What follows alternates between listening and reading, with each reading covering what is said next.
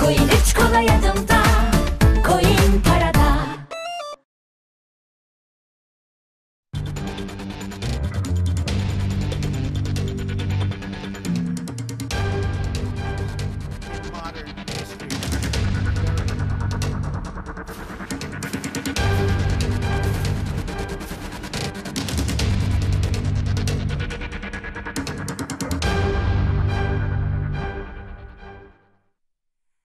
Merhabalar saatlerimiz 14.30'u gösteriyor. Güne bakışa başlıyoruz. Biz de İstanbul Portföy Yönetici Ortağı Tufan Deriner'le birlikte konuşacağız ekonomi blo- bloğunda. Hoş geldin Tufan. Merhabalar, hoş bulduk. İyi yayınlar. Teşekkür ederim. Eski adıyla yeni ekonomi programı, en eski ama daha yeni adıyla orta vadeli program. Nasıl buldun? Öyle birazcık başlayalım konuşmaya. Daha doğrusu bu isim değişikliğini niyedir sence?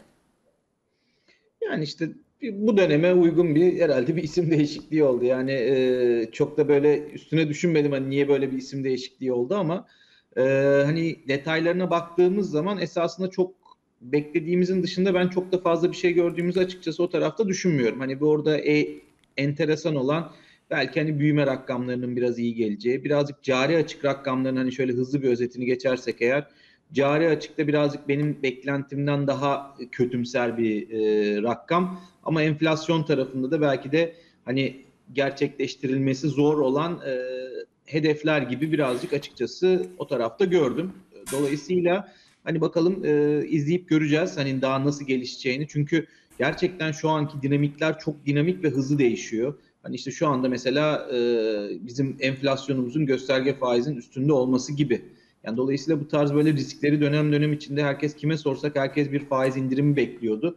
Ama faiz indiriminden esasında şu anda bence uzak bir noktadayız. Bakalım izleyip göreceğiz. Evet belki birazcık daha bu dönemde çekirdeği izleyeceğiz artık. Hani e, merkezin yönlendirmesi o şekilde oldu ama dediğim gibi hani ben böyle orta vadeli programda da gördüğüm hani böyle çok değişik heyecanlı bir şey açıkçası görmedim. Birazcık kur tarafında da bence hani biraz temkinli ve e, biraz beklentilerimin gerisinde kalan bir kur var açıkçası.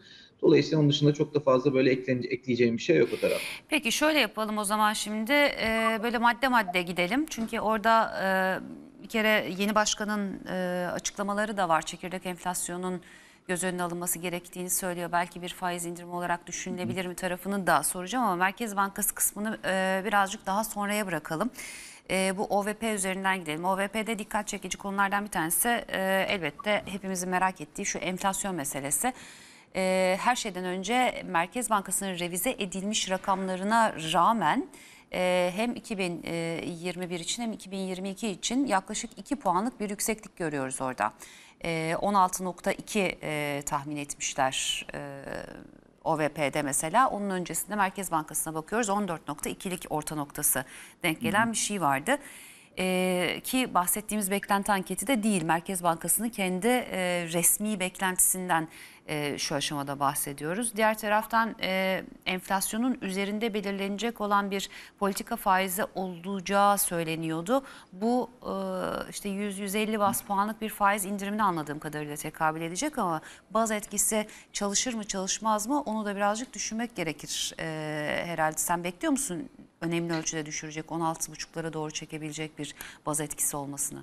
Ben açıkçası çok fazla beklemiyorum. Yani ben hani hep piyasa hakkında konuşurken benim beklentim hep olumsuz olduğum taraf e, esasında bu enflasyon tarafı. Yani bu enflasyon tarafında ben açıkçası hep bir e, tedirginliğim olduğunu, hani bu geçmiş dönemde hep yabancı raporlarını gördük mesela işte e, bu aylarda artık herkes yavaş yavaş acaba bir faiz indirimini önümüzdeki aylarda konuşur muyuz dediği dönemde ben sanki bir 20'leri göreceğiz diye hep rakamlar buraya gelmeden de söylüyordum. Şimdi bundan sonrasında da gördüğüm şu pek enflasyonu düşürecek bir etken de göremiyorum. Yani şimdi dünya zaten bununla hani dünyada acaba geçici miydi değil miydi derken hani bu, bu süreç uzadıkça uzuyor ve enflasyon bir şekilde e, yurt dışında da devam ediyor. E siz kur tarafında bir şey yapamıyoruz olumlu bir, bir, bir gelişme olmuyor. Evet bu dönemde belki birazcık sabit kaldı ama tabii esas problem bence bir kere üfe ile e, arasındaki farkın bir şekilde açılmış olması da çok büyük problem. Dolayısıyla bunların da yansımalarını yavaş yavaş göreceğiz. E, büyük kalemlerde sürekli bir şeyler görüyoruz. Ne derler? Sürekli bir arttırımın geldiğini, sürekli bir e, işte ne bileyim suya zam geliyor, elektriğe zam geliyor. Dolayısıyla bütün bunların olduğu bir süreçte ben açıkçası enflasyon tarafında ne yazık ki bir türlü olumlu olamıyorum. Yani zaten bizim de şu anda en yakından takip ettiğimiz data esasında enflasyon datası. Çünkü e, bütün bence önümüzdeki dönem bizi belirleyecek etkenlerin başında e, bence o geliyor. Dolayısıyla hani ben bu açıklanan rakamların bile her ne kadar Merkez Bankası'nın üstünde olsa da hani bu e, programda yer alan rakamlar içinde yakalanması en zor olanlar olduğunu düşünüyorum. Bakalım izleyip göreceğiz önümüzdeki dönemde ama hani bir türlü bir enflasyon konusunda o kırılmayı ne yazık ki ben göremediğim için o tarafta bir türlü bir olumlu olamıyorum. Ya böyle acaba e, merkezden daha gerçekçi ama yine de e, hayalci sayılabilecek bir program mı dersin peki enflasyon cephesi açısından konuşunca sadece? Ya, o kadar da çok kopuk bir rakam değil esasında ama ben şu anda yaşadığımız nokta itibariyle negatif risklerin birazcık pozitif oluşabilecek risklerden birazcık daha fazla olduğunu düşündüğüm için esasında böyle söylüyorum. Yani çünkü hani bu geldiğimiz nokta itibariyle yaşayabileceğimiz olumsuz etkilerin ben birazcık daha fazla olabileceğini düşünüyorum. Enflasyon üstünde özellikle dünya da izin vermiyor. E, dünyanın izin ver, vermediği bir noktada bizdeki zaten durum ortada. Dolayısıyla bütün bunlar olurken e, birazcık enflasyonu sanki önümüzdeki süreçte de e, yaşayacağız diye düşünüyorum. Hele bir de ara sıra hani böyle bir faiz indirim söylemleri de geldikçe bence piyasanın üstündeki riski, baskıyı, enflasyon üstündeki baskıyı birazcık daha da arttırıyor. Bir de tabii şunu unutmamak lazım. Dünya çok genişlemeci bir para politikası içinde ve biz esasında Türkiye'de Merkez Bankası'nın hep söylediği şey sıkı bir para politikası izliyoruz. Hani bir noktaya kadar bu nasıl gider, ne olur? İşte önümüzdeki dönemde bir seçim olacağını, 2023'te zaten hani resmi olarak seçim var. Belki bunun biraz öne çekilebileceğini de konuşuyoruz. Dolayısıyla hani bütün bunlar olduğu takdirde çok ciddi bir e, hani enflasyonda geri gelmeyi sanki beklememek lazım diye düşünüyorum. Ama tabii orta vadeli programdaki rakamlar da öyle çok hani bizim düşündüğümüz, beklediğimiz rakamlardan da çok da kopuk rakamlar değil açıkçası. Peki hadi birazcık büyüme konuşalım ama büyümeyi e, bu yıl üzerinden ya da beklentiler üzerinden değil de e, 2013 yılından bugüne doğru e, düşünüp konuşalım. Neden özellikle 2013 seçtim? Çünkü 2013 yılında e, Türkiye'de kişi başına düşen milli gelir yaklaşık 12.500 dolardı. Büyüme ile kişi başına e, düşen milli gelir arasındaki farkı sen birazdan e, daha doğrusu birbirleriyle olan bağlantılarını ve birbirlerini nasıl etkilediklerini sen çok daha iyi izah edersin birazdan ama asıl gelmek istediğim nokta 2013 yılında e, 12.500 dolarlık bir e, kişi başına e, milli gelir, düşen milli gelir e, vardı. 2013'ten bu yana e, büyüdüğümüzü de varsayıyoruz. Varsaymıyoruz yani rakamlarla görüyoruz. Daha da bunun üzerine e, 8 yıllık hikaye geçirmişiz. Daha üstüne 3 sene daha geçireceğiz. O 3 senede de e, beklenen büyümeler var. Orta vadeli programda yazıldığı e, şekliyle. E, ancak kişi başına düşen milli gelirin e, 2024 itibariyle e, 11.500 dolar civarında, 11.400 küsur e, dolar civarında olması bekleniyor. Yani aradan geçecek e, 11 yıl ve e, kişi başına düşen milli gelirde dolar bazlı olarak 1000 dolar ekside kalmış olacağız. Ama büyüdüğümüzü söyleyeceğiz. Nasıl olacak oradaki e, matematik denklemi nasıl kuracaksın? Yani tabii sorunun cevabını hızlı vereyim. TL bazında büyüyoruz. Hani e, şimdi tabii onun hiçbir önemi yok. Ama önemli olan burada esasında bizim satın alma gücümüzün ne noktaya geldiği. Şimdi esasında senin söylediğin rakamlar Türkiye'nin şu andaki bence Türkiye'nin en önemli problemlerinden bir tanesidir. Çok ciddi bir şekilde satın alma gücümüzde azalmanın olduğunu görüyoruz. İşte bu senin söylediğin rakamlar zaten ortada. Şimdi bizim 2013 yılında ki geldiğimiz 12 bin dolarların üstündeki rakamların üstüne bir de Amerika'da çok ciddi bir şekilde enflasyon oldu. Yani bugün hani Amerika'daki rakamlarda da konuştuğumuz rakamların üstünde de bir enflasyon var. Yani esasında siz 2013 yılında aşağı yukarı 12 bin dolarlardayken belki bugün 14 bin dolarlara gelseniz satın alma gücünüz esasında aşağı yukarı aynı noktada olacaktı. Dolayısıyla bizde çok ciddi bir şekilde bir satın alma tarafında bir geriye gelmenin olduğunu e, söylememiz lazım. Ama bu nasıl ge- geçecek? İşte bu hep uzun zamandır 2013 yılında iki tane bence çok kritik konu oldu. Bir tanesi işte Bernanke'nin o faiz arttırım sürecine ve hani o hep bildiğimiz sürecin başlaması. İkincisi de gezi olaylarıyla başlayan ve Türkiye'de ne yazık ki ondan sonra politik manada bir türlü durulamayan ve sürekli yaşadığımız olumsuz böyle hep bir döngüler içinde yaşadığımız bir e, ne yazık ki bir süreçten geçtik. mesela o, o dönemleri hatırlayalım hep notumuzun artacağı beklentisiyle kurun hep bir baskı altında kaldığı. Tabii öyle olduğu zaman ister istemez TL bazında biraz bile büyüseniz dolar sabit kaldığı zaman dolar bazındaki e, kişisel üstüne düşen gelir bir şekilde artmış oluyor. E tabii şimdi o noktalarda işte 1.2'ler en dibi diye düşünürsek doların o dönemlerde oradan buralara geldik. Yani çok ciddi bir esasında bir, bir paranın bu kadar kısa bir süre içinde bu kadar hızlı devalüe olması işte bu tarz sonuçlar doğuruyor. Dolayısıyla hani önümüzdeki dönem açısından zaten bence 11 bin dolar seviyesinde olabilmesi için bir kere kurda ciddi bir geri gelmeyi görmemiz lazım. Yani onu görmeden bence tekrar o seviyelere ulaşmamız, 12 binlere ulaşmamızın ben çok e, olabileceğini açıkçası düşünmüyorum. Bunun da olabilmesi için bence çok ciddi bir güven ortamı, reformların yani birçok şeyin bence Türkiye'de esasında değişiyor olması lazım ki hani böyle bir sürecin içine önümüzdeki dönemde e, girebilelim. E, dolayısıyla hani ben açıkçası hani kişisel gelir tarafındaki böyle ciddi bir artışları yaşayacağımız önümüzdeki bir iki sene içinde bizi böyle yukarı götürecek çok fazla bir etken göremiyorum. İşte bu enflasyonist ortamda olduğumuz için büyümenin biraz kuvvetli geleceğini, biraz dönemsellikten dolayı Covid'den çıkıyoruz. Bütün bunlarla beraber ben hala 2022'de de Türkiye'nin iyi bir büyüme rakamını her zaman yakalayacağını açıkçası düşünüyorum. Yani bu tarz enflasyonist ortamları yaşadığımızda Türkiye her zaman büyümeyi bir şekilde ihracatın e, verdiği destekle, işte başka sektörlerden aldığı destekle bir şekilde büyümeyi her zaman geçtiğimiz dönemlerde de gördük bunu. Hep becermiş. Dolayısıyla hani bu tarafta ben benim beklentim önümüzdeki döneme doğru e, açıkçası e, o rakamları biraz ben açıkçası zor yakalarız diye düşünüyorum.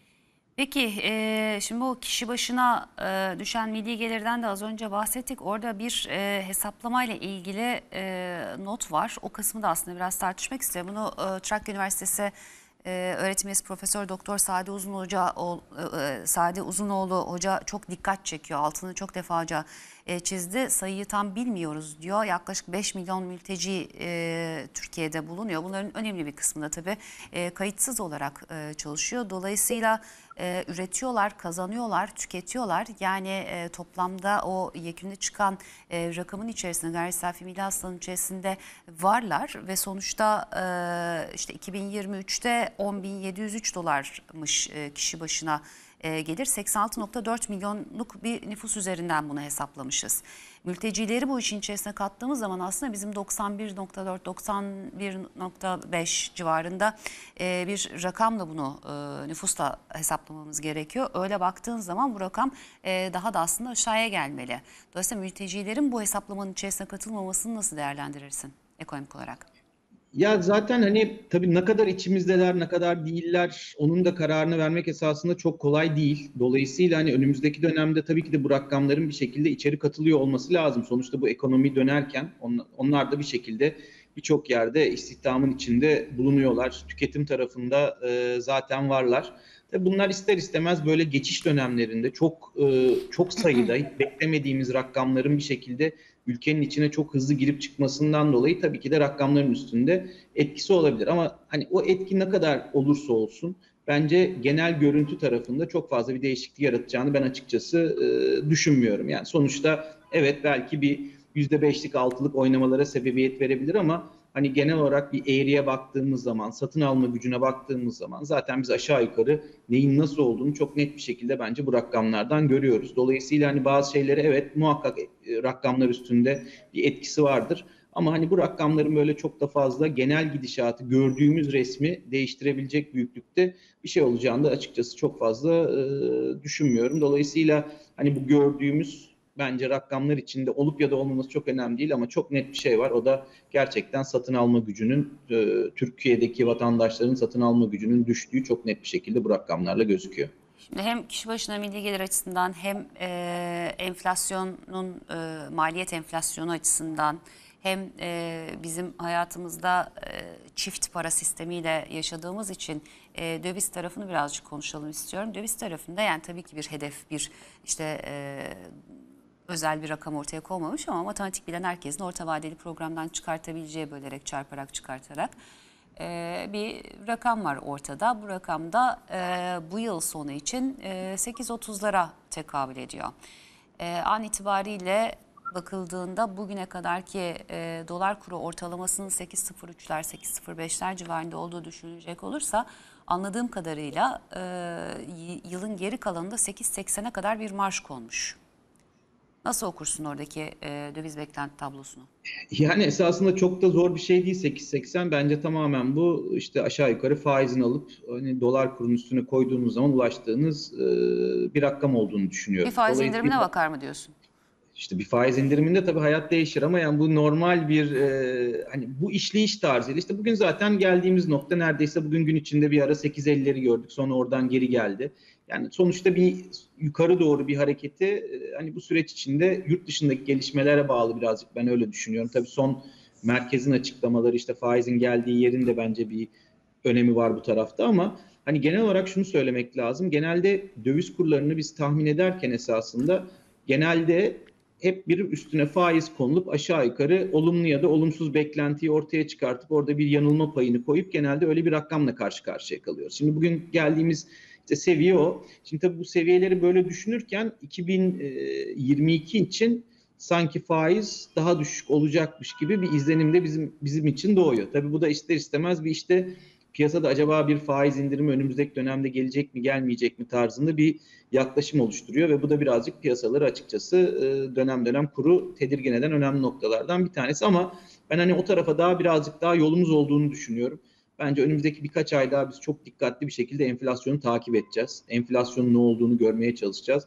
Eğer enflasyon hakikaten birazcık daha yukarı gider, 20'lerin üstüne doğru giderse ki benim beklentim birazcık daha ben o tarafa daha yakınım.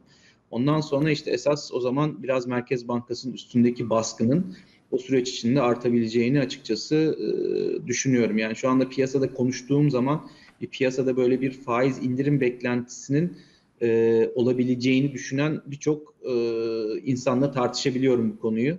Ama hani benim beklentim pek o yönde bir hareketin olmayacağı çünkü piyasanın buna izin vermeyeceğini düşünüyorum ama tabi bu dönem birazcık hareketlerin çok hızlı olduğu ve e, yurt dışına da bağlı olduğumuz bir süreç. Oradaki etken, kendi içimiz, iç etkenlerimiz birçok şey çok sert bir şekilde etkiliyor.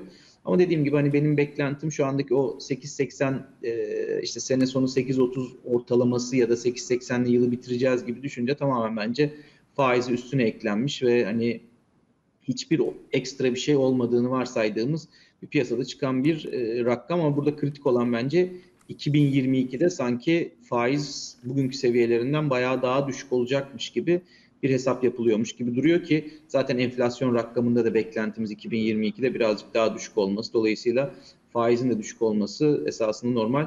Ama döneceğiz dolaşacağız her, her şekilde en önemli datamız bence önümüzdeki dönem takip edeceğimiz enflasyon datası olacak. Şu enflasyonda yüzde beş de takılma hikayesinin geride kalmış olması aslında e, görece gerçekçi bir noktayı da ortaya koyuyor. Diğer taraftan hikaye sadece bizle e, dönmüyor elbette. Dolayısıyla yurt dışında neler oluyor neler bitiyor onlara da bakmak lazım. Bir tarafta delta varyantını konuşuyoruz. Bir tarafta e, işte Jackson acaba daha... Jackson Hole'u güvercin buldun mu? Ya esasında her şey beklediğim gibi oldu. Piyasa bazen algılayış şekli yani ben okuduğum zaman mesela bazen tam tersini algılıyor piyasa ama çok da fazla esasında pek piyasaya bir şey söylemek istemediklerini ben düşünüyorum. Evet bir güvercinlik vardı sonuçta söylemde. Ama bence esasında orada ana hikaye risklerin gerçekleşmediğini gördükçe piyasa birazcık daha bence önümüzdeki döneme doğru e, umutlanıyor. Yani bir tabii Jackson Hole'dan çıkan sonuçlar bir güvercinlik yani içinde barındırıyordu ama ben böyle çok da ciddi onu o şekilde algılamadım. Dönüp dolaşıp işte sonuçta her şey piyasadaki rakamların e, oluşuna bakıyor. Yani bugün hep tartıştığımız konuşuydu. Enflasyon kalıcı mı yurt dışında yoksa geçici mi? Hep geçici diyorduk. Benim de inancım birazcık geçici olduğu yönündeydi. Ama bu işte delta'nın çıkması ortaya, bu bir türlü Covid sürecinin sona erememesi, bütün bir, bir sürü sebepten dolayı hala orada enflasyonun bir şekilde sürdüğünü görüyoruz. Yani bu bol paranın çekilmediği müddetçe de sanki bir süre daha da e, devam edecekmiş gibi duruyor. Dolayısıyla tersine bir yorum da gelemiyor FED'den. Birazcık ben merkez bankalarını biraz hareket kabiliyetlerini kaybettikleri bir süreçte olduklarını açıkçası düşünüyorum. Ama ters bir şeyin de gelmesini çok fazla beklemiyorum o taraftan söylem olarak. E, tabii biz ne güvercinlikler gördük. Bu kadarını Aynen. güvercin saymayız. E, işte ben Bernankeler hatta ondan önce Greenspan'i e, görmüş bir piyasa olarak. Ama Aynen. diğer taraftan işte e, yıl sonu başlayacağını söylüyor bir şekliyle. Başladım demek için tapering'e e, en azından e, başlar mı? Ya bence başlayabilir ama zaten söyleyeceği şey esasında sadece azaltacağını söyleyecek. Yani hani bu noktada artık tekrar bence piyasadan sert bir şekilde parayı artık geri çekeceğimi söylemekten çok yani hani piyasaya verdiği parayı bence birazcık azaltma noktasına gidecek. Dolayısıyla hani evet bu sonuçta piyasa bunu bir, bir şekilde bir noktada olumsuz algılayacaktır. Ama uzun vadede sonuçta bir şeyin değişmeyeceğini, faizlerin artmayacağını ve bu düzenin devam edeceğini düşündüğü için ben açıkçası çok da fazla olumsuz karşılamıyorum. Yani bugün şöyle düşünün şu anda Fed'deki ters repoda Fed'e, Fed'e geri verilen para çok ciddi miktarlara ulaşmış durumda. Dolayısıyla yani esasında bu kadar bol paraya da acaba piyasada ihtiyaç var mı sorusunun cevabı bence çok esasında çok da fazla yok ama psikolojik etkilerinden dolayı bir şekilde hani bu kararı almakta e, çekiniyorlar. Çünkü ekonomik aktivite ne yazık ki dünyada istedikleri boyuta bir türlü e, ulaşmıyor. İşte bu Covid etkisi hala devam ediyor. Bütün bunları üst üste koyduğunuz zaman bir türlü o cesareti ben açıkçası merkez bankaları gö- göstereceğini önümüzdeki dönemde de çok fazla düşünmüyorum. E, piyasa açısından nasıl bakıyorsun? Borsa İstanbul'da gördüğüm kadarıyla 1448-1450 e, civarındayız. Borsa İstanbul cephesinde 8.43.65 dolar, 9.97.59 e, euro, 92.65 dolar endeksi, e, 1.35'lerde Amerikan 10 yıllıkları. Evet. Şimdi tabii şöyle yorumlamak lazım. Piyasa esasında son e, 15-20 gündür bayağı kuvvetliydi. Dolar bazında hani bir diplerden böyle bayağı yukarılara doğru bir piyasanın hareket ettiğini gördük. Piyasayı bence iki tane şey tedirgin etti esasında. Bir enflasyon rakamı başlangıçta bir tedirgin etti. Yani sonuçta fonlama maliyetinin üstüne çıkan bir enflasyon acaba bundan sonra ne olacak sorusunu e, piyasa bir sormaya başladı. Tabii de onun yıl, onun dışında hareketlenen bir Amerikan 10 yıllıkları ve artık yukarı gidemeyen dünya borsalarını görmeye başladık. Bu da ister istemez bir son iki gündür bizim piyasanın üstünde bir e, baskı oluşturuyor. Ama benim genel fikrim şu, hani ne olursa olsun koşullar sanki ben bizim piyasamızın her ihtimalde böyle çok düşmeyip biraz artık dünya piyasalarının o negatif ayrışması yerine pozitif ayrışacağı bir sürece gireceğimizi düşünüyorum. Çünkü şirketlerimizin karlılığı gayet iyi. Hani bilanço döneminde bunları çok net bir şekilde görebiliyoruz. Dolayısıyla hani önümüzdeki dönemde de artık bu kadar negatif ayrıştığımız bir dönemi ben hani bu işe başladığımdan beri hiç görmedim. Dolayısıyla inanılmaz bir negatif ayrışmamız var. Artık bütün olumsuzluklar neredeyse bu fiyatların içine e, yansımış durumda. Dolayısıyla ben hala piyasa tarafında, borsa tarafında olumluyum ama işte tek olan şey piyasa böyle hızlı rallemek yerine biraz yukarı gittim mi acaba pahalı mıyım deyip tekrar en ufak bir olumsuz gelişmede geri geliyor. Sonra tekrar bence dolar bazında birazcık daha yukarı göre göre bence 2 dolarlara doğru bir gideceğiz. Ama oraya gittikten sonra bence daha yukarıya gitmemiz için bence piyasalar orada hala ucuz olacak ama bir hikayemiz olmadığı için o noktadan sonra birazcık açıkçası zorlanabileceğimizi düşünüyorum ama hani bir 2 dolara kadar buranın böyle bir e, dinlene dinlene böyle rally havasında değil ama yavaş yavaş ben o, o noktalara doğru açıkçası yıl sonuna ya da belki ara- önümüzdeki yılın e, Ocak sonuna kadar o noktaya gideceğini düşünüyorum. E, bir Noel Baba rallisi beklemezsin herhalde o zaman. Ya işte birazcık yani hani rally kelimesi tabii çok hani biz eskiden burada ne ralliler gördük. Yani dolar bazında çok kısa sürede yüzde yüzler yaptığımız e, dönemleri gördük. Çünkü hem kur düşüyordu hem borsa yukarı gidiyordu çok hızlı bir şekilde. Şimdi o kadar böyle hem kuru aşağı getirecek çok fazla bir gelişme göremiyorum. E böyle bir anda hani burada bir olumlu havayı estirecek de çok fazla bir etken yok. Yani şu anda iyi olmamızın bence ana sebeplerinden bir tanesi artık o kadar ucuzuz ki yavaş yavaş dünyada da bu kadar bol para varken birazcık kırıntıları da olsa ben biraz kırıntı diyorum o gelenlere artık. Bize bir yabancı parası girişi geliyor yani borsaya. O da ister istemez piyasayı alıp buradan bir yukarı doğru götürmeye yetiyor. E, Merkez Bankası Başkanı'nın odağı manşetten çekirdeğe doğru çeviriyoruz söylemini yabancı nasıl okur? Ya biz Yani okumayı tabii- bıraktık ben öyle anlıyorum. Dolayısıyla yabancı nasıl yabancı okur çok soruyorum. okumuyor esasında. Bunu neden okumuyor? Yabancı zaten dolar TL tarafında çok ciddi bir pozisyon aldığını ben bu swaplarda yaşanan işte son 3-4 senelik hikayeden sonra TL'ye ne güven manasında ne de güvensizlik manasında çok fazla pozisyon aldığını açıkçası e, düşünmüyorum. Dolayısıyla hani bunu nasıl okuyor dediğimiz zaman yorumlamak çok kolay değil. Ama ben bunu şöyle yorumluyorum hani kendi açımdan ki konuştuğum bazı yabancılarda da bunu e, esasında görebiliyorum ama burada yani iki farklı görüşün de olduğunu söylemek lazım ama benim okumam hani bunu şu, şu şekilde ya bugün ben çok uzun zamandır Merkez Bankası olarak hiçbir zaman negatif reel getirinin olmayacağını söylemiştim. Hani şu anda böyle bir negatif bir reel getiri piyasada söz konusu. Ama çekirdeğe baktığım zaman olumlu e, bazı e, gelişmeler görüyorum ve çekirdek daha hala çok aşağıda. Dolayısıyla hani bugün için belki bir faiz indirim süreci yok ama faizi de hemen arttırmak için gerekli bir ortamın daha henüz oluşmadığını düşünüyorum. Bence fikrini bana veriyor en azından. Hani benim benim okuyuş şeklim birazcık e, o yönde ama hani bu konuyu birazcık e, bazen e, ortaklarımla bile hani tartıştığımız noktası açıkçası e, olabiliyor. Dolayısıyla hani benim okuyuşum o şekilde. Yabancıların da ben açıkçası buna yakın bir şekilde okuduğunu düşünüyorum. Ee, başkan yine diyor ki TL'nin güçlenmesi için politika üretiyoruz. Bu yönde e, adımlar atacağız. TL'nin güçlenmesi, politika üretmek, adım atmak, merkez. Nereye çıkar şöyle, bunlar? şöyle yani bence artık merkez nasıl biraz evvel Fed için aynı şeyi söylemiştim. Bence kurun aşağı gelmesi için zaten Merkez Bankası şu anda elinden gelen her şeyi yaptı ve bütün araçlarını kullanıyor. Yani ben bence bundan sonra artık kurun düşmesi için merkezin yapabileceği çok fazla bir şey olduğunu düşünmüyorum. Yani önümüzdeki dönemde bir faiz arttırımı da olmayacağını varsayarsak eğer e, elinde çok da fazla bir enstrüman olduğunu söylemek çok doğru olmaz. Bundan sonra artık TL'nin aşağı gelmesi için bence iki tane çok önemli senaryo var. Bir tanesi şu, e, bence TL haddinden fazla değersiz durumda. Hani benim hesaplarıma göre. Dolayısıyla bütün bunun bir şekilde yansıyabilmesi için, tekrar pozitife dönebilmemiz için de Türkiye hakkında güzel bir hikaye yazılmıştı. Reformların olup güven ortamının tekrar oluşacağı bir düzenin gelmesi lazım. Bu olmadığı takdirde bence çok da fazla böyle dövizde artık eski gördüğümüz büyük zıplamaları görmeyiz. Ama geri çekilmeyi de görmemiz çok e, mantıklı olmaz. İşte faiz mertebesinde yani faiz neyse o gün koşullarda e, kurun da o kadar yukarı gittiğini görürüz. Ta ki böyle çok majör piyasanın hoşuna giden ya da hoşuna gitmeyen bir olay olmadığı takdirde. Ee, bundan sonra işte az önce borsanın çok ucuz olduğunu düşündüğünü, yabancıların da kırıntı da olsa e, geldiğini söyledin.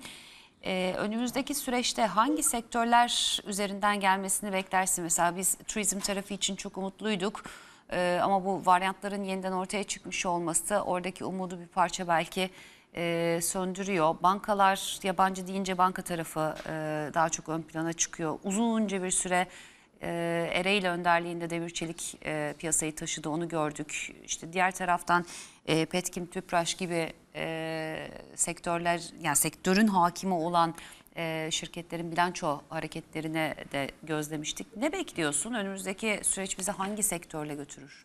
Evet şöyle şimdi bir kere bu dönem içinde işte ben eğer sizle bu konuyu mesela Ocak ayında konuşuyor olsaydık ben herhalde Türkiye'nin bu sene tarihi iyi bir turizm sezonu geçireceğini e, düşünenlerdendim. Tabii bu Covid'in bu kadar uzamasından dolayı onu yakalayamasak da gene çok da kötü olmayan bence hani iyi bir sezon kesinlikle değildi. Ama bir dönemde o kadar çok artık Mayıs gibi morallerin de çok bozulduğu bir ortamdan işte vasat bir bence turizm sezonunu e, bir şekilde geçirdiğimizi düşünüyorum. Sonuçta bir döviz de o taraftan geldi. Hani o tarafta belki çok fazla zaten bizim borsamızda çok fazla turizm hissesinin olduğunu söylemek e, çok doğru olmaz. Daha çok hani ulaştırma sektörüyle alakalı hisseler var. Onlar da cidden Covid tarafında çok ciddi bir şekilde darbe aldılar bu süreç içinde. Dolayısıyla belki onlarda bir toparlanmayı önümüzdeki dönemde bu aşılanmanın da artmasıyla beraber ben açıkçası görebileceğimizi düşünüyorum. Ama onun dışında hani baktığımız zaman son dönemde işte Petkim'le Tüpraş bence birazcık geride kalan önemli hisselerden e, başında geliyor diye düşünüyorum. Önümüzdeki dönemde belki birazcık o tarafta bir yukarı doğru hareketlenme görebiliriz. Ama onun dışında tabii bir şey olacaksa eğer bankacılık sektörü zaten çok ucuz. Hepsi e, defter değerlerinin altında işlem görüyor.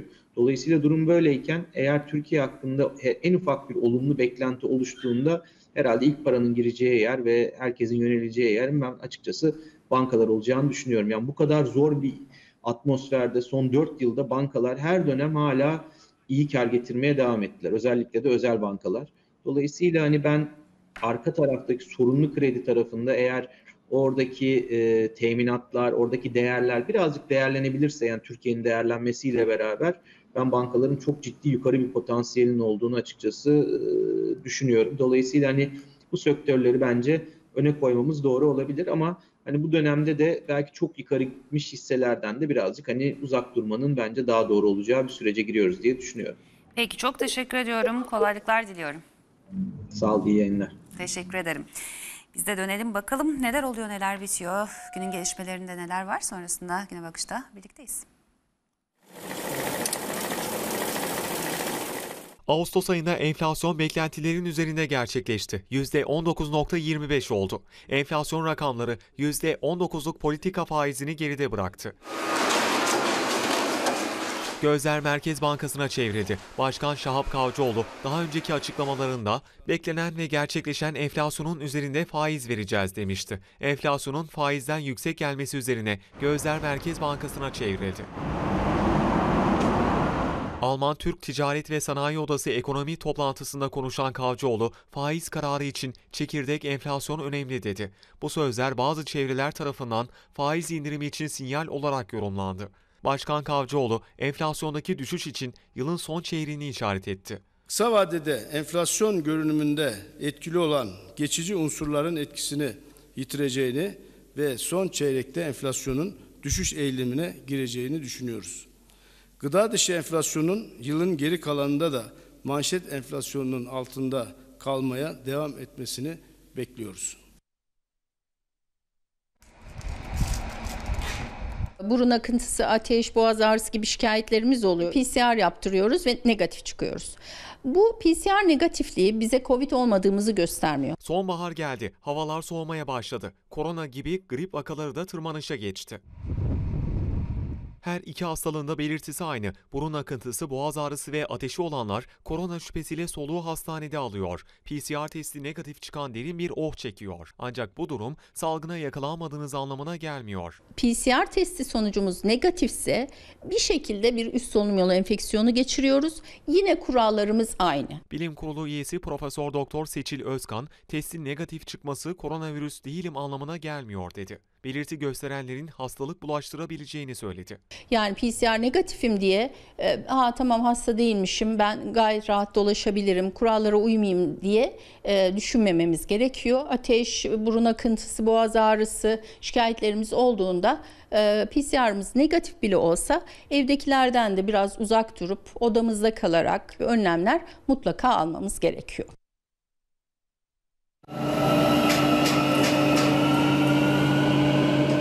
İstanbul'da metronun simgesi değişti. M'ydi, U oldu. Bu hareket tartışmaları da beraberinde getirdi. Hizmet ayrıştırmamalı sözüne Bakan Kara İsmailoğlu'ndan yanıt geldi. Ulaştırma ve Altyapı Bakanı Adil Kara İsmailoğlu sosyal medya hesabından İstanbul'da metronun yeni simgesi diyerek bir paylaşım yaptı. Metrolarda simgenin U olacağını açıkladı.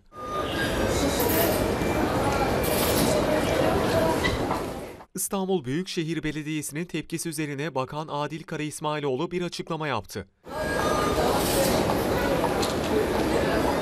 Kara İsmailoğlu tartışmalara son noktayı koydu. Bu metroları kimin yaptığının bilinmesi lazım. Emek hırsızlığı yapılmaması lazım dedi.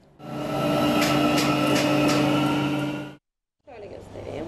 Şey büyük diye Öğrencilerimiz, öğretim elemanlarımız ve idari personelimizle e, ilgili olmak üzere HES kodu üzerinden e, takip gerçekleşebilecek. Yüksek öğretim kurumlarında yüz yüze eğitim 13 Eylül pazartesi günü başlıyor. Milyonlarca öğrenci ülke genelinde yollara düşecek, bir buçuk yılın ardından kampüslerine kavuşacak. Yeni eğitim öğretim döneminde tıpkı okullarda olduğu gibi üniversitelerde de sıkı önlemler alındı. En dikkat çekeni ise HES kodu üzerinden dijital takip sistemi oldu. Bildiğiniz üzere kampüslerimize, yerleşkelerimize öğrencilerimiz, idare personelimiz, öğretim elemanlarımız kimliklerini ibraz etmek suretiyle e, girebilmektedir. Yüksek Öğretim Kurulu Başkanı Profesör Doktor Erol Özvar, kampüslerde salgının seyri HES koduyla takip edilecek dedi. Covid-19 verileriyle alakalı dijital e, verileri anlık güncellenmiş bir şekilde Sağlık Bakanlığı'ndan e, çekebilecekler. Kendi öğretim elemanları, idari personeli ve öğrencileriyle alakalı Covid-19 ile alakalı risk durumları, enfekte olup olmadıkları, karantinada olup olmadıklarına dair bütün bu dijital e, bilgileri e, Sağlık Bakanlığı'ndan üniversitelerimiz takip edebilecekler.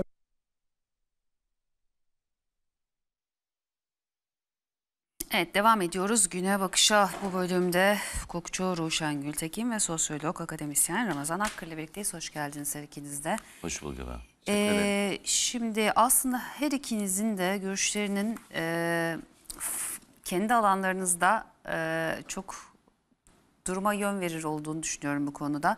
E, çünkü işin bir hukuki boyutu var e, ve işin bir aslında sosyolojik boyutu var. Ali Erbaş, e, adaletsiz İslam olur mu e, başlığıyla bir e, çıkış yaptı. Diyor ki, ya adli yıl bir kere duayla açıldı ve e, Yargıtay Başkanı e, cübbesiyle birlikte dua ederken bir resim verdi.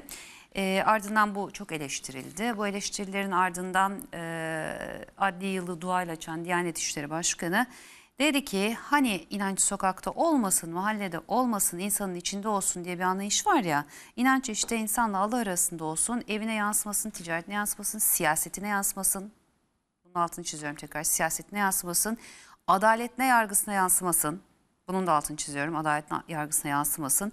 Görüyorsunuz ya ortalığı ayağa kaldırıyorlar. İnançtan e, ayıklansın oralar. Adeta bu düşünce insanlığı bu noktaya getirmektedir diyor.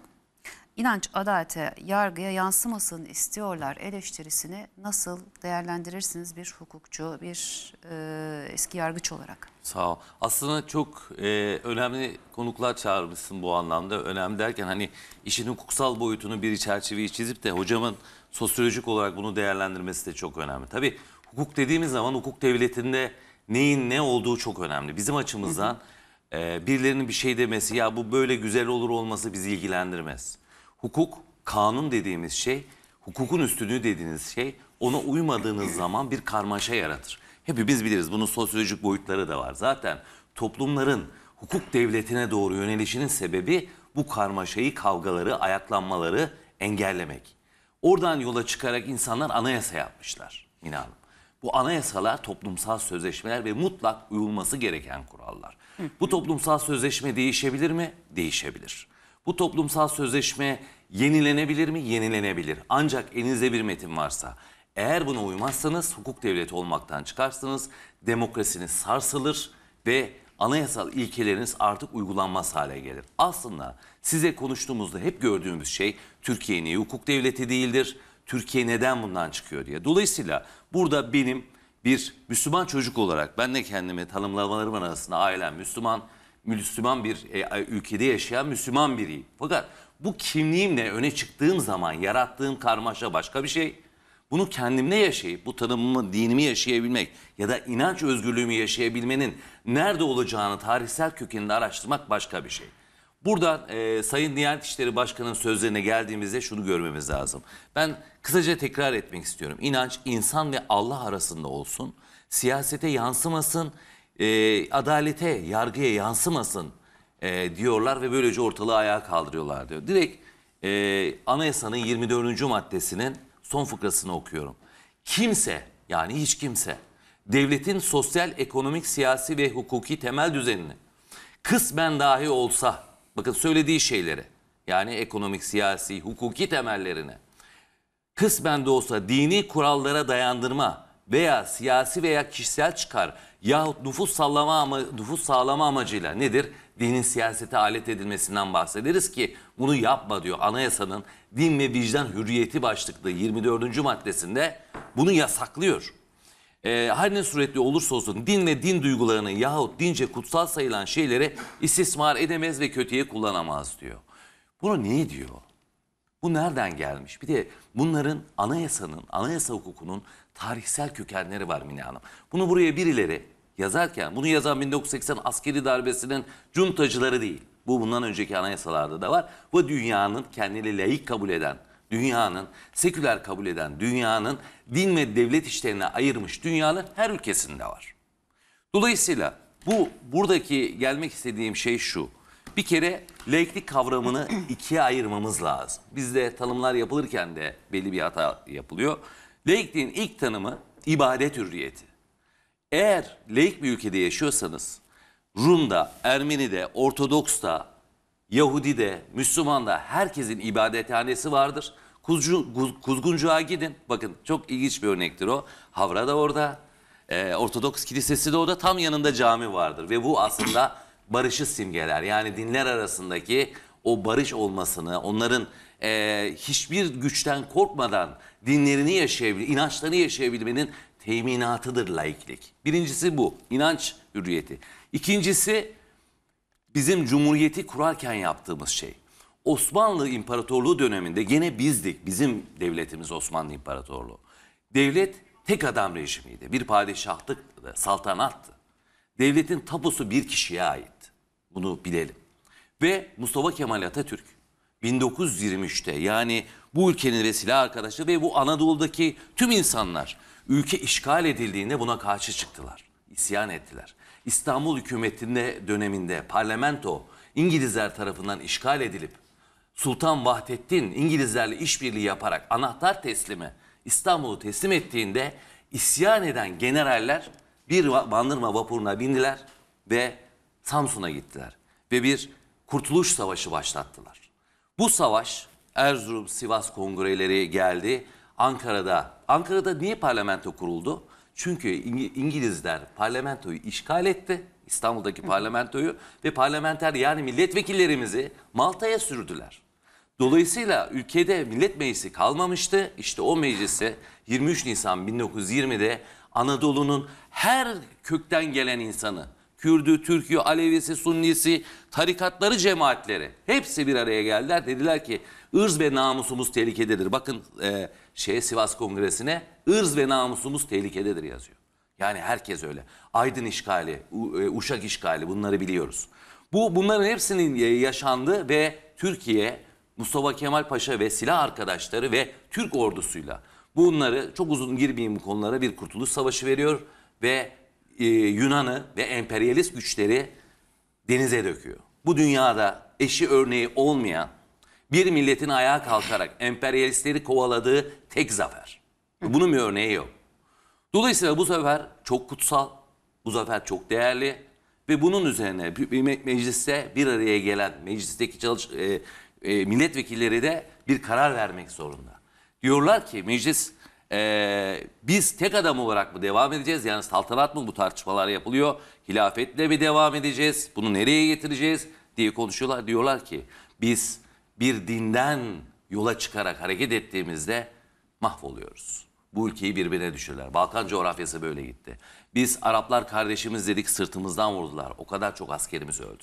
Onlar bu ihanetleri, bu büyük imparatorluk bakiyesinden kalan noktada yaşanan problemleri gördüler. Ve din adına insanların birbirini kestikleri gördüler. Etnik kökenden Ermenilerle Türklerin sorunları o zaman sadece hani kendi aramızda değil yani. İşte onların e, bizim tehcir dediğimiz yaşadığımız sıkıntıların hepsini gördük. Dolayısıyla biz oradan aldık ve dedik ki burası Türkiye Büyük Millet Meclisi'ne de irade milletin iradesidir. Ve bu iradenin yaptığı kanunlarla bu ülke yönetilir. İşte laikliğin ikinci tanımı. Birinci tanımı inanç hürriyetiyken ikinci tanımı yönetilen kuralların din ve dine bağlı olan kurallardan gelmemesi. Ve bu sayede 1923'ten itibaren sadece erkeklerin saydığımız Osmanlı İmparatorluğu döneminde sadece sığırlarını ve tavuklarını saydığımız sayı- sayımda onlar sayılıyordu. Ama kadınlar sayılmıyordu. Çünkü kadınları insan olarak kabul etmiyorduk biz. Cumhuriyetle kadın hakları ortaya çıktı. Cumhuriyetle miras hakkı eşit oldu. Cumhuriyetle kadınların boşanma hakkı, diğer hakları bunların hepsinin gelişi bu cumhuriyetle oldu. İşte dünyada seçme seçilme hakkını kadına ilk tanıyan devletlerden birine Türkiye Cumhuriyeti olmasının temelinde yatan sebep bu. Naim Babiroğlu Hoca Paşa e, diyor ki Türkiye'den Atatürk'ü çıkartın geriye Afganistan kalır. Evet. Yani şimdi la- laikliğin bu önemini Avrupa'daki Westfalia Anlaşması'na kadar iner yukarıya kadar çıkar anlatırız ama Avrupa'da da kan gövdeyi götürmüş. Din kavgalarında. Ne Protestanlarla Katoliklerin hepsi birbirine girmiş.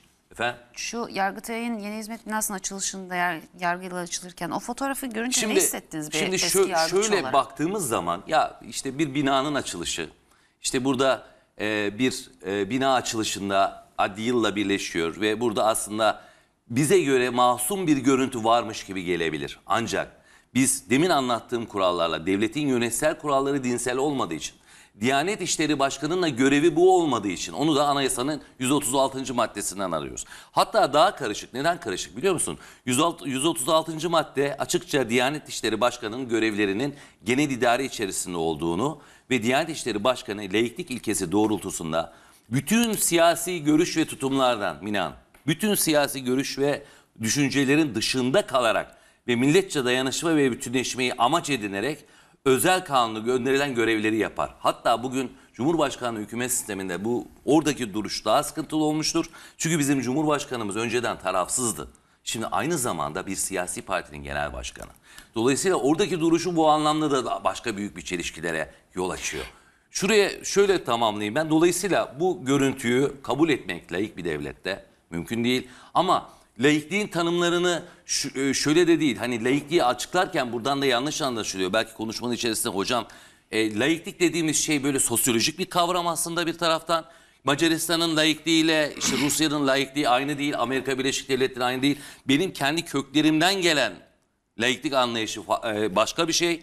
Bunlarla ilgili şunları da altını vurgulayalım. Hani bir tarafı söylerken öbür tarafı da söylemeyelim. Türkiye'de laiklik altı yap- adı altında bu ülkede zulümler yapıldı mı insanlara? Yapıldı. Bunlara da biz laiklik demiyoruz. Bunları da söyleyelim. Türkiye'de üniversiteye gitmek isteyen öğrencilerin başörtüsüyle sorunlar yaratıldı mı? Yaratıldı. Türkiye'de o tarihlerde bunlara da askerler vesile oldu. Bu bu aslında işte sosyolojinin bir yerde kırılma noktaları. Yani bu tür askeri bakış açılarıyla, ultimatomlarla kırılma noktaları. Bunlar yaşanmasa biz belki bize bırak, bırakılsa kendi şeyini yürütürdük. Bu yarat- yaratılmayınca da ne oldu? Bakın Türkiye'de bir tarikat, bir cemaat çıktı. Devleti ele geçirmek için o, e, o 28 Şubat'tan sonra gelişen ya işte burada haksızlık oldu ve ön açıldı, ön verildi bu sefer de. Bu sefer de tarikat ve cemaatlerin ayrı ayrı e, devlette yapılanmasına izin verdiğinizde işte 15 Temmuz'daki kanlı darbe girişimiyle karşılaştık. Demek ki her konunun ifradı önemli. Bizim ne yapmamız lazım? Şunu yapmamız lazım. Bakın devletin temeli liyakattır. Kimsenin dini, kitabı, bilmem nesi önemli değildir. İnsanlar ehil oldukları işe girerler. Bu bizim peygamberimizin hadisi şerifi. Bu ürünün çevresi ya- hazırladığı şey buradan hadisi şerifi herkes ehil oldu. Ehil, işi, işi ehline vermezsen kıyamet kopar diyor Hazreti Peygamber. Şimdi biz ne yapıyoruz bugün? Bugün de aynı şeyi yapıyoruz. Zaten o insanların 20 e, askerlerin gelişi, başka konulara başkalarının gelişi, liyakat değil. Ben örneğini verdim. Hocam 2003 ile 2016 arasında idari yargıda mesleğe alınan yargıç ve savcıların %95'ini FETÖ'den attık. Evet. Bakın Şimdi bunlar şöyle- hani bunlar, bin bunlar civarı biliyorum, evet. olmaması gereken şeyler. Bu şu son söz şunu söyleyeyim özür dileyerek. Estağfurullah. şu, e, söyleyeyim. Bizim şu anda geldiğimiz noktada ayrıntıya girersek gireriz. Mesela bizim Diyanet İşleri Başkanımızın sigara haramdır demesi doğru bir yaklaşım değil. Onların Mesela, hepsini konuşacağız. hani karides şu- gibi deniz ürünleriyle ilgili açıklama yapması, Onların bu işlerin soracağım. sulanması ama ne ne anlama geldiğini de ayrıca söylerim. Ben sadece bu konuyla ilgili acizane Peki bu işin bir de sosyolojik elbette e, boyutu var. Bir tarafıyla anayasa e, anladığım kadarıyla Ruşen Bey'in anlattığından anayasa çiğnenmiş durumda. Anayasayı çiğnemenin bir e, şeyi var mı? Yaptırım var mı bilmiyorum ama soracağım. Var, tabii ki var. E, sizi de kesmeyeyim diye Evet. bir reklama gideyim. Reklam dönüşü de sözü size vereyim. Olur mu? Peki hadi bir reklam.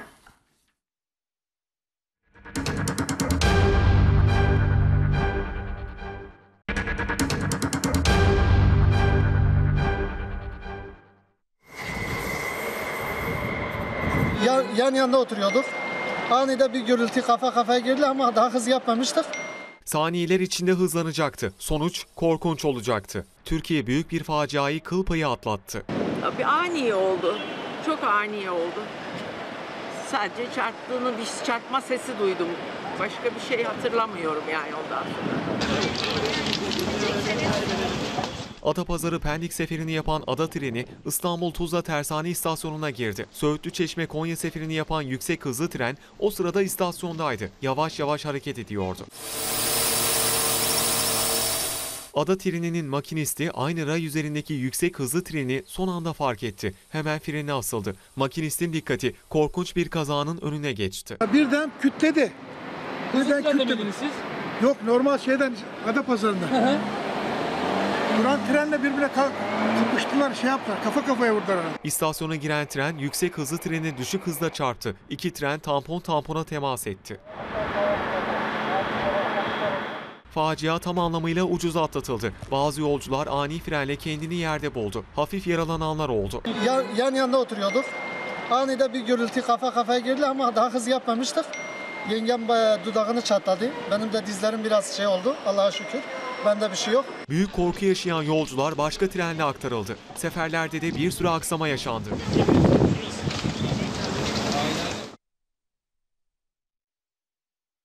Evet devam ediyoruz. Güne bakışa buyurunuz. Bu hikayenin sosyolojik, aç- sosyolojik açıdan e, açıklaması nedir? Daha doğrusu bir Nedir? açıklaması var mıdır? Ya bir öncelikle ben en sert kısımdan görüntünün beni rahatsız edip etmediğinden başlayayım. Görüntü beni rahatsız etmedi çünkü e, kendi işte siyasal tarihimizde biz bunun örneğin bir e, ilk meclisin dualarla e, Atatürk döneminde açıldığını biliyoruz. Ama Bence şurada e, şuradan gitmek lazım. Bir e, Diyanet'in kuruluş felsefesini netleştirmek lazım. Bir de bu ülkede laiklik nedir? Ee, Bir, e, nedir laiklik? Evet hocam biraz önce işin hukuki boyutunu anlattı. İyi bir laiklik felsefesi verdi ama Türkiye'deki laiklik tecrübesini analiz ettiğiniz zaman böyle bir laiklik yok. Biz ortaokuldan itibaren laiklik bağlamında hep şu anlatıldı. Laiklik din ile devlet işlerinin, din ile siyasetin birbirinden ayrılması mı? Ayrılmasıdır şeklinde bir tanım öğretildi bize. Bir tanım ezberletildi. Gerçekten böyle mi? Ee, Türkiye'nin e, siyasi tarihine baktığınız zaman e, tüm e, bu alanda yazılmış sosyolojik metinler de bize şunu söylüyor. E, laiklik e, söylemi e, din ile devlet işlerinin birbirinden ayrılmasından öte e, siyasetin ya da devletin dini denetim ve gözetim altında tutmasını sağlayan temel ilkedir. Cumhuriyet tarihi bize bunu söylüyor. Denet, iki kavram var burada. Bir denetim, bir gözetim. 1 Mart 1924'te biliyorsunuz bir gece ivedi bir şekilde 3 tane karar alındı. Birisi tevhid-i tedrisat, birisi şeria efkaf vekaletinin kaldırılıp yerine Diyanet İşleri Re- Reisliği'nin kurulması. Şeria ve efkaf vekaleti Osmanlı'nın son döneminde neden kaldırıldı ve aynı benzeri misyonla Diyanet İşleri Reisliği neden kuruldu? Temelde e, hocama itirazım orada. Evet güzel bir laiklik felsefesi ortaya koydu ama Türkiye'deki laiklik tecrübesi bunun tam aksini söylüyor bize. Dünyada laiklik örneklerinde iki tane laiklik örneği var. Birisi e, kıta Avrupa'sının e, özellikle Fransa'nın laiklik anlatısı, laiklik biçimi bu temelde e, dindarların ve dinin denetim ve gözetim altında tutulmasını sağlayan bir ilkedir. Ama Amerikan laikliği, Anglo-Sakson dünyanın laikliği e, tamamen din özgürlüğüdür. Hocam biraz önce din özgürlüğüne vurgu yaptı ama Türkiye'deki laiklik tecrübesi din özgürlüğünü sağlamadı. Biz e, ben e, doktorada Cumhuriyet Halk Partisi'nin din politikalarını çalıştım ve özellikle tek parti döneminden günümüze kadar getirmeye çalıştım. Tek parti döneminde e, polis tutanaklarını inceledim. Polis tutanaklarında suçlar şunlar. Mesela evde Kur'an-ı Kerim bulundurdu. Evde elif bağ, evde seccade bulunması, sarık sarması ya da ezan okuması.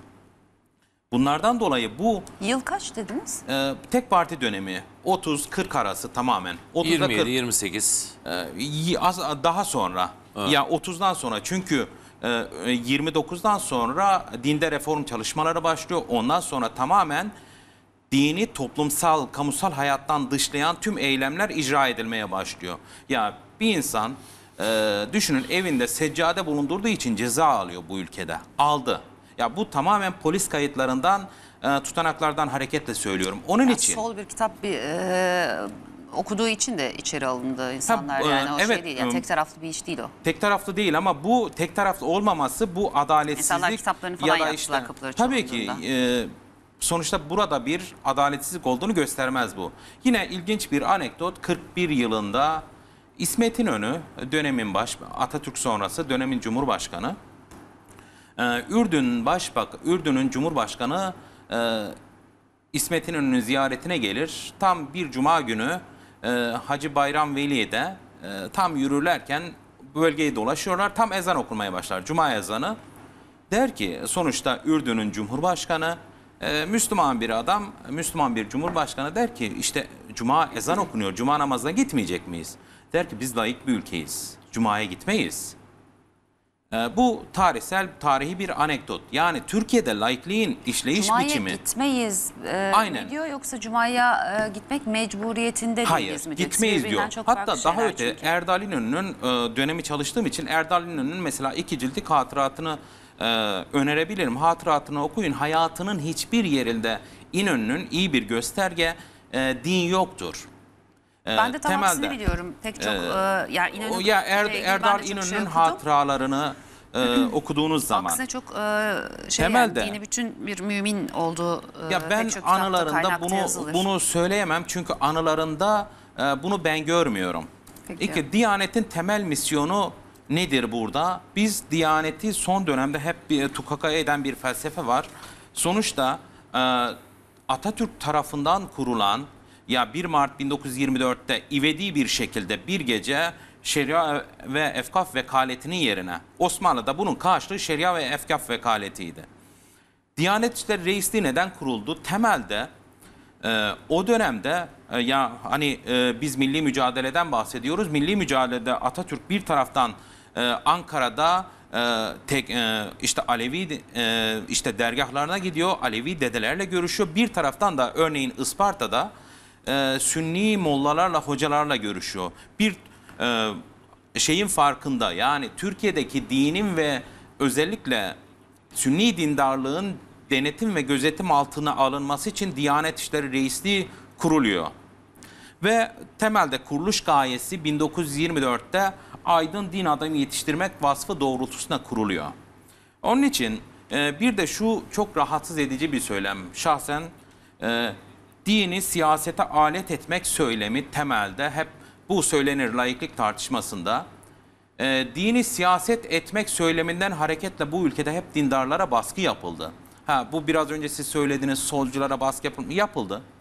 Ülkücülere Yani de nasıl yapıldı. ülkücülere de yapıldı. Kürtlere Demek ki de burada yapıldı, Ermenilere de burada yapıldı. evet Ermenilere de 6-7 yapıldı. Eylül olayları daha Evet çok yakın Ermenilere zamanda aynı Rumlara şekilde yapıldı. demek ki burada bizim adalete, hukuka ihtiyacımız var. Tüm etnik gruplara, dini gruplara eşit mesafede yaklaşan laikliği, din özgürlüğü hocamın söylediği gibi din özgürlüğü bağlamında değerlendiren bir felsefeye ihtiyaç var bu ülkede. Maalesef ama Türkiye'nin yakın döneme kadar tecrübesi laiklik konusunda tam aksini söylüyor bize.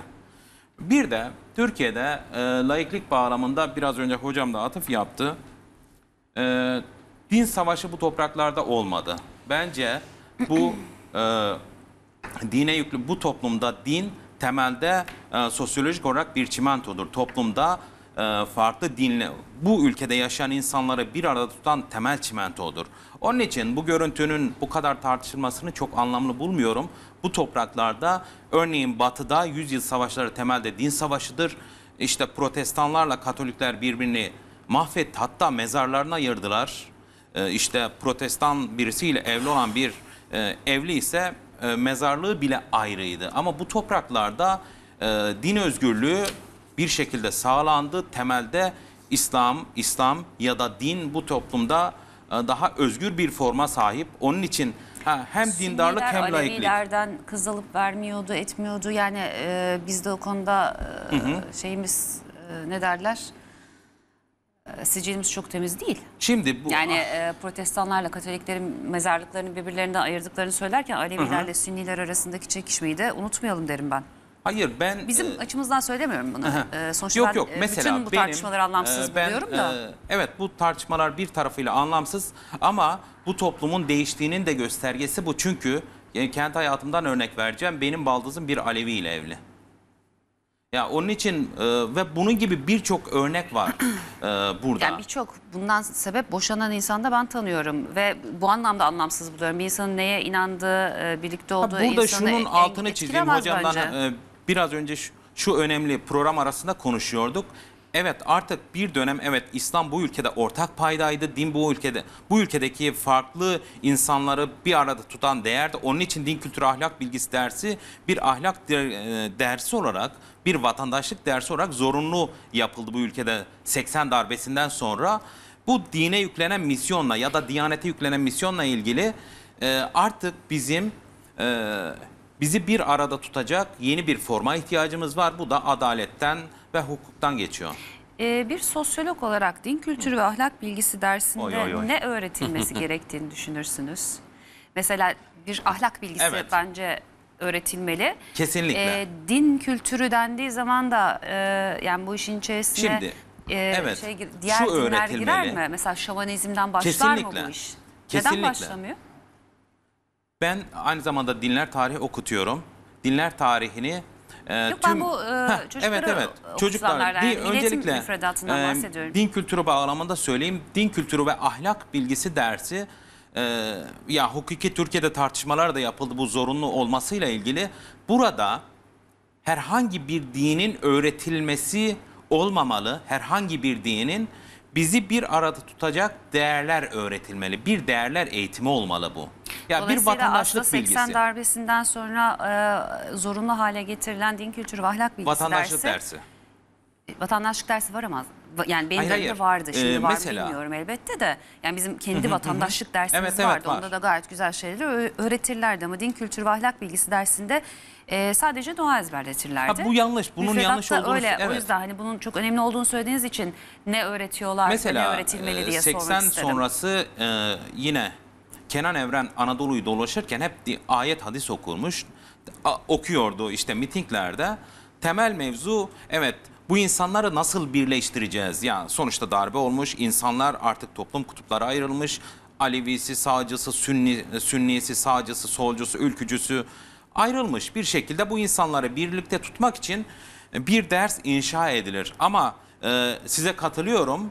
E, bu bir e, ahlak eğit ahlak öğretimi olmalı. Herhangi bir dinin e, temel ilkelerinin, temel prensiplerinin öğretilmesi değil. Peki teşekkür ederim. Ben de aynı Ortak, düşüncedeyim. evet. Birkaç cevap verebilir miyim? Ee, elbette sonra da özel olarak e, sizden e, bu Diyanet İşleri Başkanlığı'nın nasıl kurulduğu, neden kurulduğu, Diyanet İşleri Başkanı'nın görevinin tanımsal olarak ne olduğu, hangi sınırlar içerisinde kalması gerektiğine dair görüşünüzü merak ediyorum. Elbette. Daha doğrusu görüşünüzü merak etmiyorum. E, yazanı merak ediyorum. Bir Görüşünüzü şey ayrıca alacağım. ekleyebilir miyim başlamadan? Yani Tabii hocam. Diyanet İşleri tartışmasında hep şunu görüyorum. Neden şu fetvayı verdi? Diyanet ne yapmalı? Yani şimdi Yani bir şey işte söyleyeceğim. deniz Karides, ürünleri- Bir şey sorabilir miyim burada? Ee, işte- Biraz bekleteceğim Evet. mecburen. Şimdi Diyanet İşleri Başkanı'nın görevi karides yenilip yenilmeyeceğini söylemek midir mesela? Söylemektir Ya da karides çünkü... neden? Madem dinler tarihi de okutuyorsunuz. Hazır yeri Evet, gelmişken evet. merak da ediyordum. Keşke biri gelse de sorsam da diyordum aslında. Böyle denk geldi. Mesela deniz ürünü yemek neden e, mekruh olsun? Yani bunun Ve e, Diyanet şimdi... İşleri ne, yıllardır biz bunu yiyoruz bir de üstüne üstlük. Şimdiye kadar Diyanet İşleri bununla ilgili madem mekruhtu nasıl uyarmaz? Ee, Şimdi şöyle, bunun fıkhi boyutu, ben fıkıhçı değilim, Diyanet işlerinde de çalışmıyor, çalışmıyorum. Bunun fıkhi boyutunu bilmiyorum ama dinlerde e, bu tür dogmatik unsurlar var.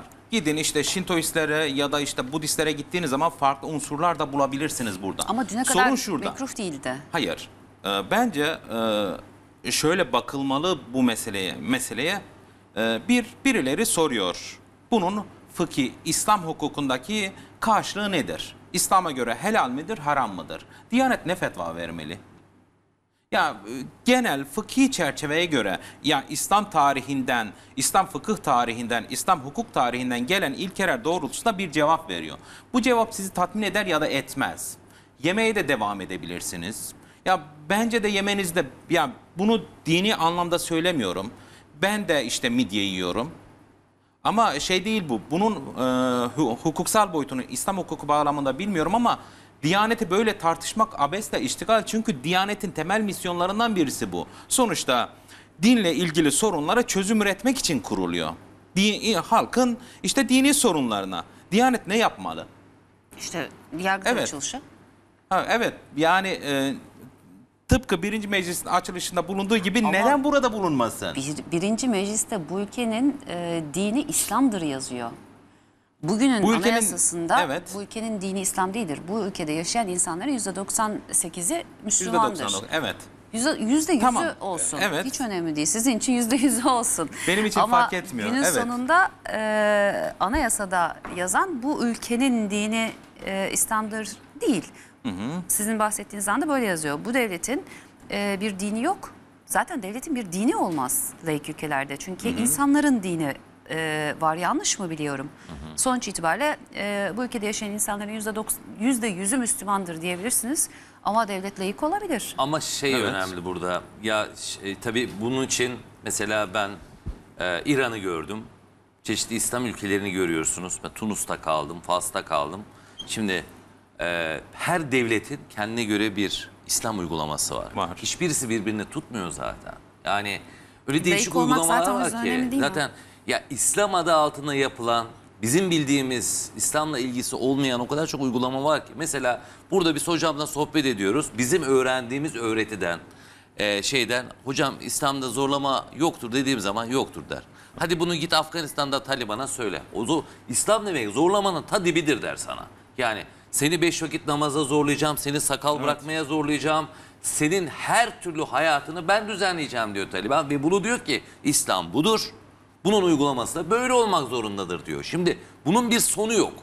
Adam Selefi e, Hanefi şeyinden 1400 yıl önceki Hazreti Peygamber'in yaşam tarzına göre bugün kural belirliyor. Böyle bakıyor. Şimdi şimdi bu- bunlar bambaşka uygulamalar. Önemli olan zaten Diyanet İşleri Başkanlığı'nın. Hatta hocam şeye gitmeniz lazım. Benden iyi bilirsiniz. Abdülhamit döneminde tarikat cemaat liderlerinin doğrudan merkezden atama yöntemine geçilmesi.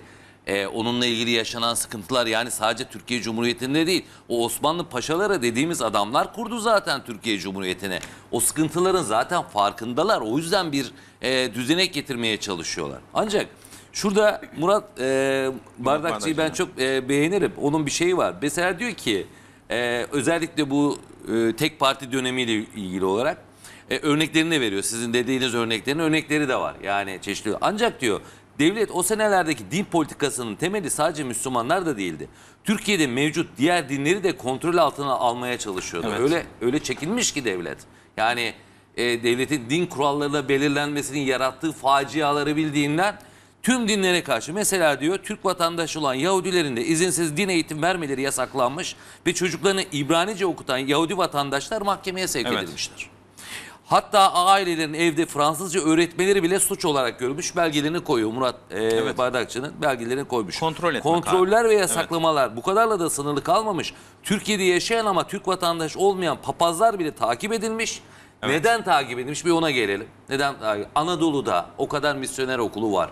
Anadolu'da o Ermenilere destek veren nereden çıkıyor biliyor musun? Oradaki Türk köylüsünü e, silahla katleden Ermenilere silahlar kiliselerden gidiyor hocam. Evet. Amerikan okullarından gidiyor. 400 kadar Amerikan misyoner okulu var. Bunlardan gidiyor. Bu adamlar bunu yaşamışlar. Ve sadece işte İslamiyet anlamında değil. O papazların hepsi de takip ediliyor. Son papaz biliyorsun e, şeydi. Neydi? Bir tane gönderdik ya. Brunson. Ha, Brunson, Rahip Brunson Papaz, işte. evet. O son papaz meselesi işte casustu falan diye tartıştık ya. Bambaşka bir konu Dolarcı ama papaz işte o için. e, şeyden yani devlet o tarihte mesela Edirne'deki İtalyan konsolasına görevli bir papaz ile din e, eğitimi verdiği çocukların gizlice fotoğrafları çekilmiş ve İçişleri Bakanlığı bunların hepsini e, takibat konusu yapmış ve Cumhurbaşkanlığına kadar haberdar etmişler falan. Yani aslında burada bir felsefesi var bu iş. Ha o zamanın koşullarında ülke işte Tunceli'de be- belli isyanlar yaşıyor. Evet. Koçgiri isyanları var, başka isyanlar var. Hani tarihi, hocam benden daha iyi bilir, tarihi kendi koşullarına değerlendirmek lazım. Yapılanlar yanlış mıydı? 10 numara yanlıştı. Ya ama buradan bakınca yanlıştı. Şimdi o tarihte orada yaşadığın zaman ve buradaki ifrada kaçmak bugün bizim belki siyasetçilerimizin söylemine konu olabilir. Ama bu ülkeyi kurarken çok zor koşullarda kurduk hocam. Tarihi de oradan burada. Oradan gelerek görmemiz gerekiyor. Benim burada birincisi demin vurguladı zaten Mina Hanım. Hani gerçekten de hani hepimiz dua eden insanlarız. Yani bir şekilde insanların bir sığınma ihtiyacı var. İnanç Allah'la kul arasında diyoruz. Dua ediyoruz. Kurban kesiyoruz. Belli ritüellerimiz var. Bunları yapıyoruz. Yapmadığımız zaman eksikliğini duyuyoruz. Bu bambaşka bir dünya. Ancak bunları başkasına empoze etmeye, cuma namazına gitmeyen insanları kınamaya, veya namaz kılmayan insanları farklı kategoriye koymaya hatta ben yaşadım bunu arkadaşlar gerçek dünyada yaşayalım yani. Ben yargıçken bunu en güzel Sami Selçuk anlatıyor Yargıtay Başkanı olduğu için. Baktım ki diyor sicilinde hakimin cumaya gitmiyor yazıyor diyor. Çünkü cumaya gitmiyor diye yazmışlar. Bu olumsuz. Oruç tutmuyor yazmışlar. Namaz kılmıyor yazmışlar. Ya bugün bu fişlemeler de o tam tersi olarak bu sefer de dün seccade bulunduran fişleniyordu. Ee, o günde işte cemaatin döneminde e, biz hakimdik, savcıydık. Ee, ben tabii o dönemde hani yetkili olman gerekiyor. Hakim savcıların gizli fişlerini ben nereden göreyim? Ama Sami Selçuk anlattı ya dedi fişte dedi biz bunları gördük. Ve dedi çok utandık yani laik bir devlette ya da işte laik devleti olarak da koymayalım. Ya gel normal bir devlette kardeşim. İnsanların hukuk devletinde evet hocam yani laiklik deyince böyle bir insanlara alerjileri geliyor. Ama hukuk devletinde insanlar fişlenir mi ya? Yani şuraya gidiyor buraya gidiyor ya da rakı içiyor. E, diskoya gidiyor bilmem ne filan diye hakim diye. Biz neye Hocam bakarız? artık bunları sıradanlaştırmamız, bir iş, bir insanın başının kapalı olması, açık olması, içmesi Bravo ya da hocam. içmemesi artık sıradan bir vaka. Zaten hocam, tam- bunlar tartışma tam konusu olmamalı. Oraya Bizim geliyorum ne bireysel güzel. özgürlüklerimiz, Bakın, bireysel tercihlerimiz Sosyolojiye bu. geliyorum hocam. Ne yaptı? Ben orada Askerler şu- milli bayramları zorunlu olarak kutlatmıştı değil mi? Hani 19 Mayıs'ta Evet, şöyle evet. olmalı, 23 Nisan böyle olmalı, 30 Ağustos böyle olmalı. Askerler layıklığa sahip çıkmaya çalışmıştı değil mi bu ülkede? Bugün ne oluyor? Bugün ne oluyor? Neyi izliyoruz biliyor musun? Bugün 19 Mayıs'ına, 23 Nisan'a, 30 Ağustos'una, kurtuluşuna millet sahip çıkıyor artık. Çünkü zaten siyasi partinin bununla ilgisi yok. Adam diyor ki içim kan ağlayarak gidiyorum diyor. Yani siyasetçiler bu merkezde şu anda. Siyasetçiler yöneticileri senin böyle deyince halk kendi devrimlerine, kendi seküler yaklaşımına sahip çıkıyor. Ve bunu iyi yarattı şu anda. Aslında oraya gelmek lazım. Buradan nereye geliyoruz? Aslında tüm bunların altında yatan sebep ne? Neden? Siyasi iktidar, siyasi iş İslamcı söylemlerine tam geri dönmek zorunda kaldı. Niye? Onu %50'lere, %51'lere tırmatan senin benim senin oyun aslında gelmemeye başladı. Bu aslında anketlere de yansıyor. İşte aslında Diyanet İşleri Başkanı'nın bir yerde sadece ben Diyanet İşleri Başkanı'nın eee, şeyi eee, sözcüsünden ben e, dün bir konuşma yapmıştım. E, dedim ki Diyanet İşleri Başkanımız karidesle, kalamarla uğraşacağına, sigarayla uğraşacağına bana şu konularda açıklama yapsın. Ben bekliyorum. Faiz, Merkez Bankası faiz açıkladığı gün faiz haramdır desin. Çıksın ortalığı yıksın. Diğer taraftan yolsuzluk hakkında konuşsun. Kul hakkı konusunda konuşsun. Her gün desin ki yolsuzluk yapmayın bak yanarsınız. Cehennem orada desin. Anlatsın insanlar bak bundan korksun. Veyahut desin ki Beytül Mal. Hocam biz de işte e, Türk hukuk tarihini okudu. Beytül Mal 1 lira çalarsan yanarsın diyor cehennemde. Beytül Mal'a yani devletin malını yağmalayamaz. Yağmalayamaz ama yağmalandığını görüyoruz. Bir sürü şeyler görüyoruz ya biz de bu ülkede yaşıyoruz. Ve bunu ihale kanununu 190 kez 200 kez değiştirerek devletin malını nasıl yağmalarızın altına yapıyoruz. Bunu A şahsı yapıyor, B yapıyor. Dün Cumhuriyet Halk Partisi yapıyordu, bugün AK Parti yapıyor, öbür parti. Bunda değilim artık ben. Yani geçelim acaba bunu yapmadan işte orada hukuka tekrar geri dönüyorum hocam. Na- Nasıl yapacağız? İşte Diyanet İşleri Başkanlığı'nın belki ahlak dediğimiz şeyle din dediğimiz şeyin de kesişmediğini toplum burada görüyor. Yani adam namaz kılıyor kardeşim çalıyor. Buna nasıl engel olacağız yani? Namazda engel olamıyoruz buna. Ne yapacağız? Buna o aklı nasıl vereceğiz? Ya da toplumda kayırmamayı nasıl sağlayacağız? Bunları toplumda bir araya getirmemiz lazım. Bunun adı da, bunun formülasyonu da çok net. Hukuk devleti. Mahkemelerin tarafsızlığı ve bağımsızlığı. Eğer siz yargı sisteminizi doğru kuramazsanız demokratik olamazsınız Mine Hanım. Yargıçlar, savcılar bugün eğer Hakimler ve Savcılar Yüksek Kurulu'nun 13 üyesinin 13'ünü de Sayın Cumhurbaşkanı atıyorsa bak dün gene bir yerde konu geldi. Dediler ki yarın e, Cumhurbaşkanı değişebilir. Hani seç, de değişebilir. O zaman e, karşı mahalleden şöyle bir çıkış çıktı. Ya dedi her şeyi değiştirebilir o zaman dedi. E şimdi değiştiriyor ya. Yani şimdi değiştiriyor her şeyi bir bir kararnameyle İstanbul Sözleşmesi'nden çıkıyor. Anayasaya aykırı. Hepimiz biliyoruz yani. Bu ben ha, bunun doktorasını yaptım ayrıca. Yani biliyorum. O oradan nasıl girersen öyle çıkarsın diye genel bir kuralımız var. Usulde paralellik ilkesi. Çıktı ama kararnameyi koydu dedi ben daha önce böyle bir şey yapmıştım. Onun 9. maddesine göre çıkıyorum dedi. Sen anayasada istersen ne yazarsan yaz dedi. Yazdı ve çıktık. Temmuz ayında da bildirimde bulunduk. İstanbul Sözleşmesi yani kadını koruyan sözleşmenin tarafı değiliz. Neden? Çünkü şu var. Siyasi iktidar oy kaybettikçe kendi geleneksel sosyolojik tabanına dönüyor. O tabanına ödünler veriyor. Tarikatlara veriyor, cemaatlere veriyor. Ayasofya'nın açıkılmasını da böyle açıklayabiliriz bana göre. E, ardından gelen hamleleri İstanbul Sözleşmesi de bu da gün gibi gözüküyor. Çünkü oradan bir baskı geliyor bizi kaybetmemen lazım diyor. Bu tür ödünlerle ne oluyor? Aslında toplum kaybediyor. Biz Ayasofya'yı bir toplumsal sözleşmeyle açalım hocam. Ama Açalım hocam. biri baskılardan kaynaklanan siyaseten belli bir yerden değil. Bunlardan siyaseten nemalanmayalım. Ayasofya sizin de caminiz, benim de camim. Biz, bizim atalarımız aldı bu toprakları, fethetti yani. Evet. O da bizim, öbürü de bizim. Artık bu değerler üzerinde bir anlaşalım, birbirimize gol atmaya çalışmayalım. Diyelim ki bizim toplumsal, hocam en başta söyledi. Bizim yeni bir toplumsal sözleşmeye ihtiyacımız var. Biz o toplumsal sözleşmeyi ortaya koyabilirsek birlikte nasıl anlaşacağız? O zaman laiklik tanımını, anayasada yazdığımız laiklik tanımını sosyolojik olarak da doldururuz. Bu noktada eğer dua etmek bizim laiklik tanımımıza aykırı gelmeyeceğini, bu zaman mesela din ve icra, işte hukukta sosyoloji arasındaki şey bu. Bunları ona göre tasavvur ederiz. Daha değişik e, bir, bir noktada. Bugün bakıyorsun Amerika Birleşik Devletleri'nde şey açıldığı zaman e, Ya Amerika evet tecrübesine bakın İncil'e yemin ederek Mesela başlıyor. da İncil'e işte yemin ederek başlıyor. papaz Şimdi bunları ediyor. ama nereye gelmişler? Ama orada ne var? Trump geldi. Trump geldi konuşma yaptı. Hakim savcılar ayağa bile kalkmadı tarafsızlığımız bozulur Ya diye. ona kalırsa Bizdekiler mesela, ön, önlerini iliklemeye çalışıyorlar. Ee, bu kadar çok Aradaki fark bu. doların üzerinde e, interest we got yazıyor.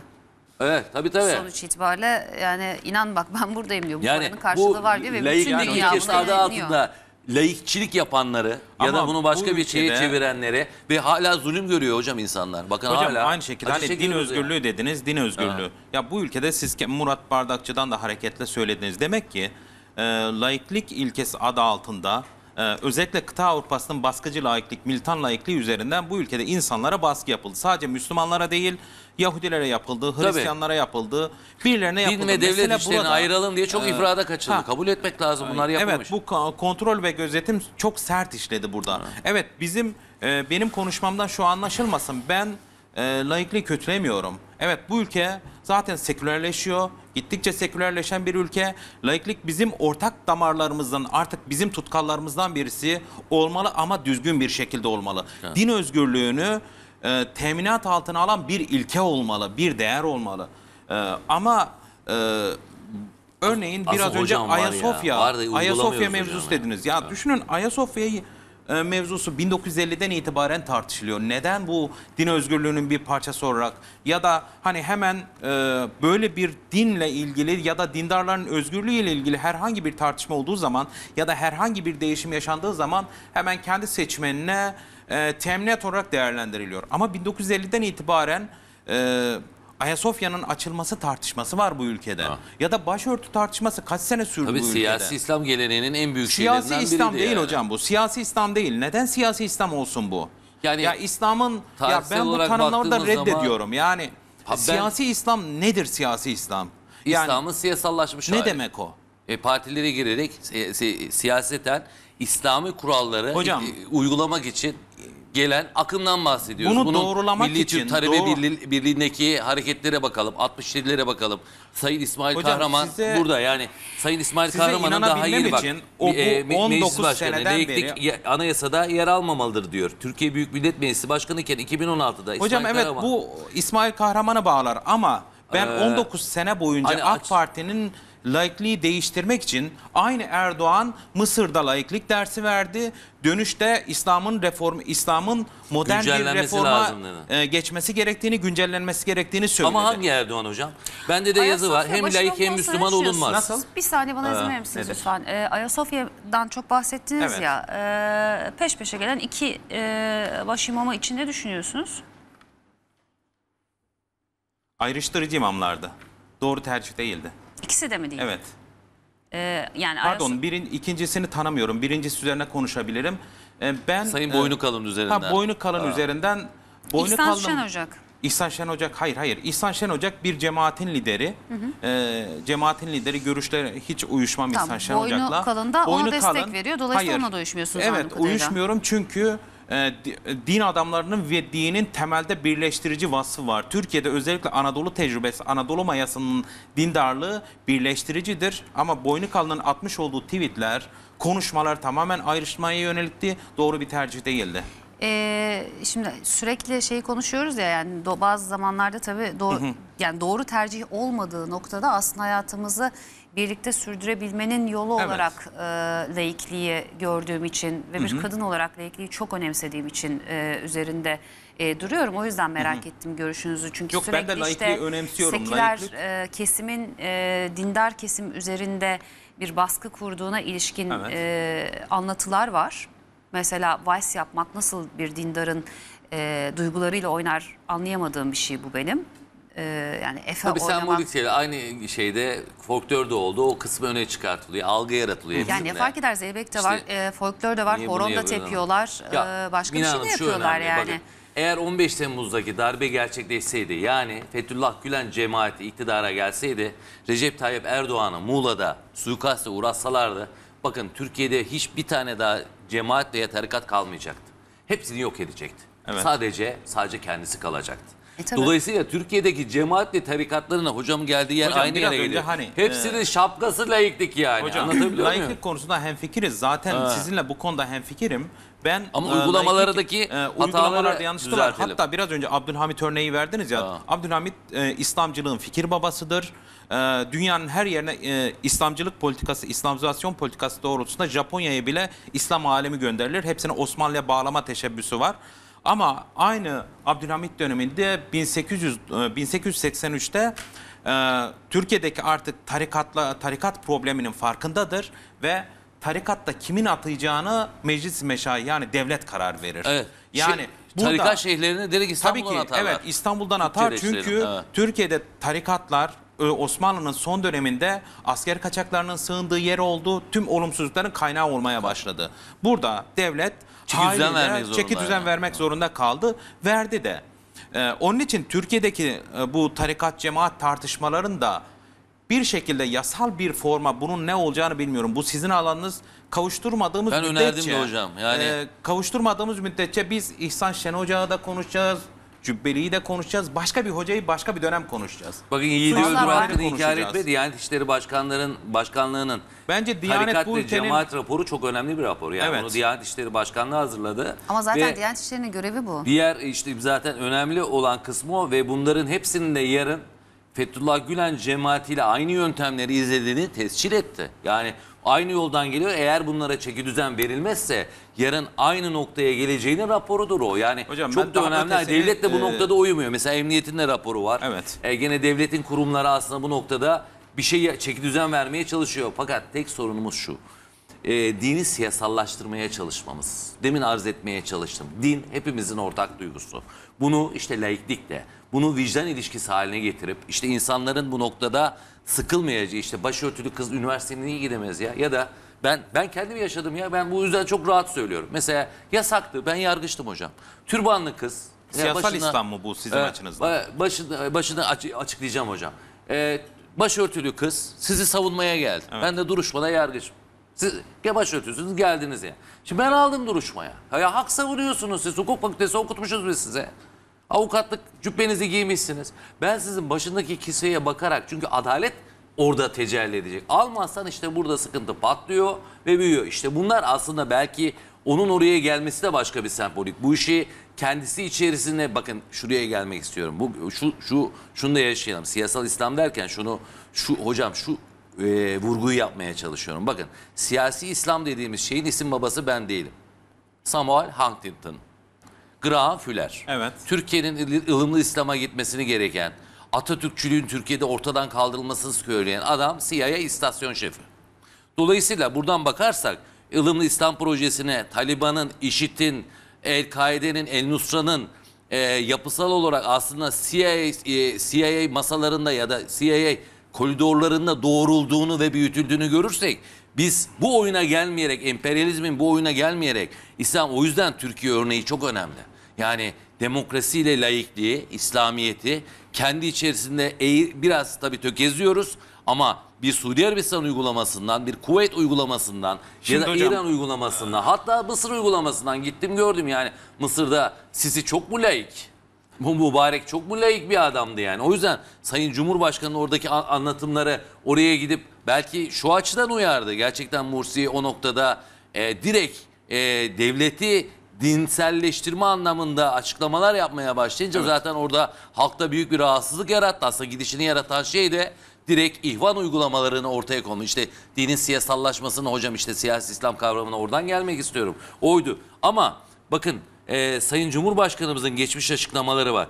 E, laiklik Allah'ın izniyle diyor, diyor ki biz Cezayir gibi olamayız. Biz hazmettire hazmettire geliyoruz Allah'ın izniyle.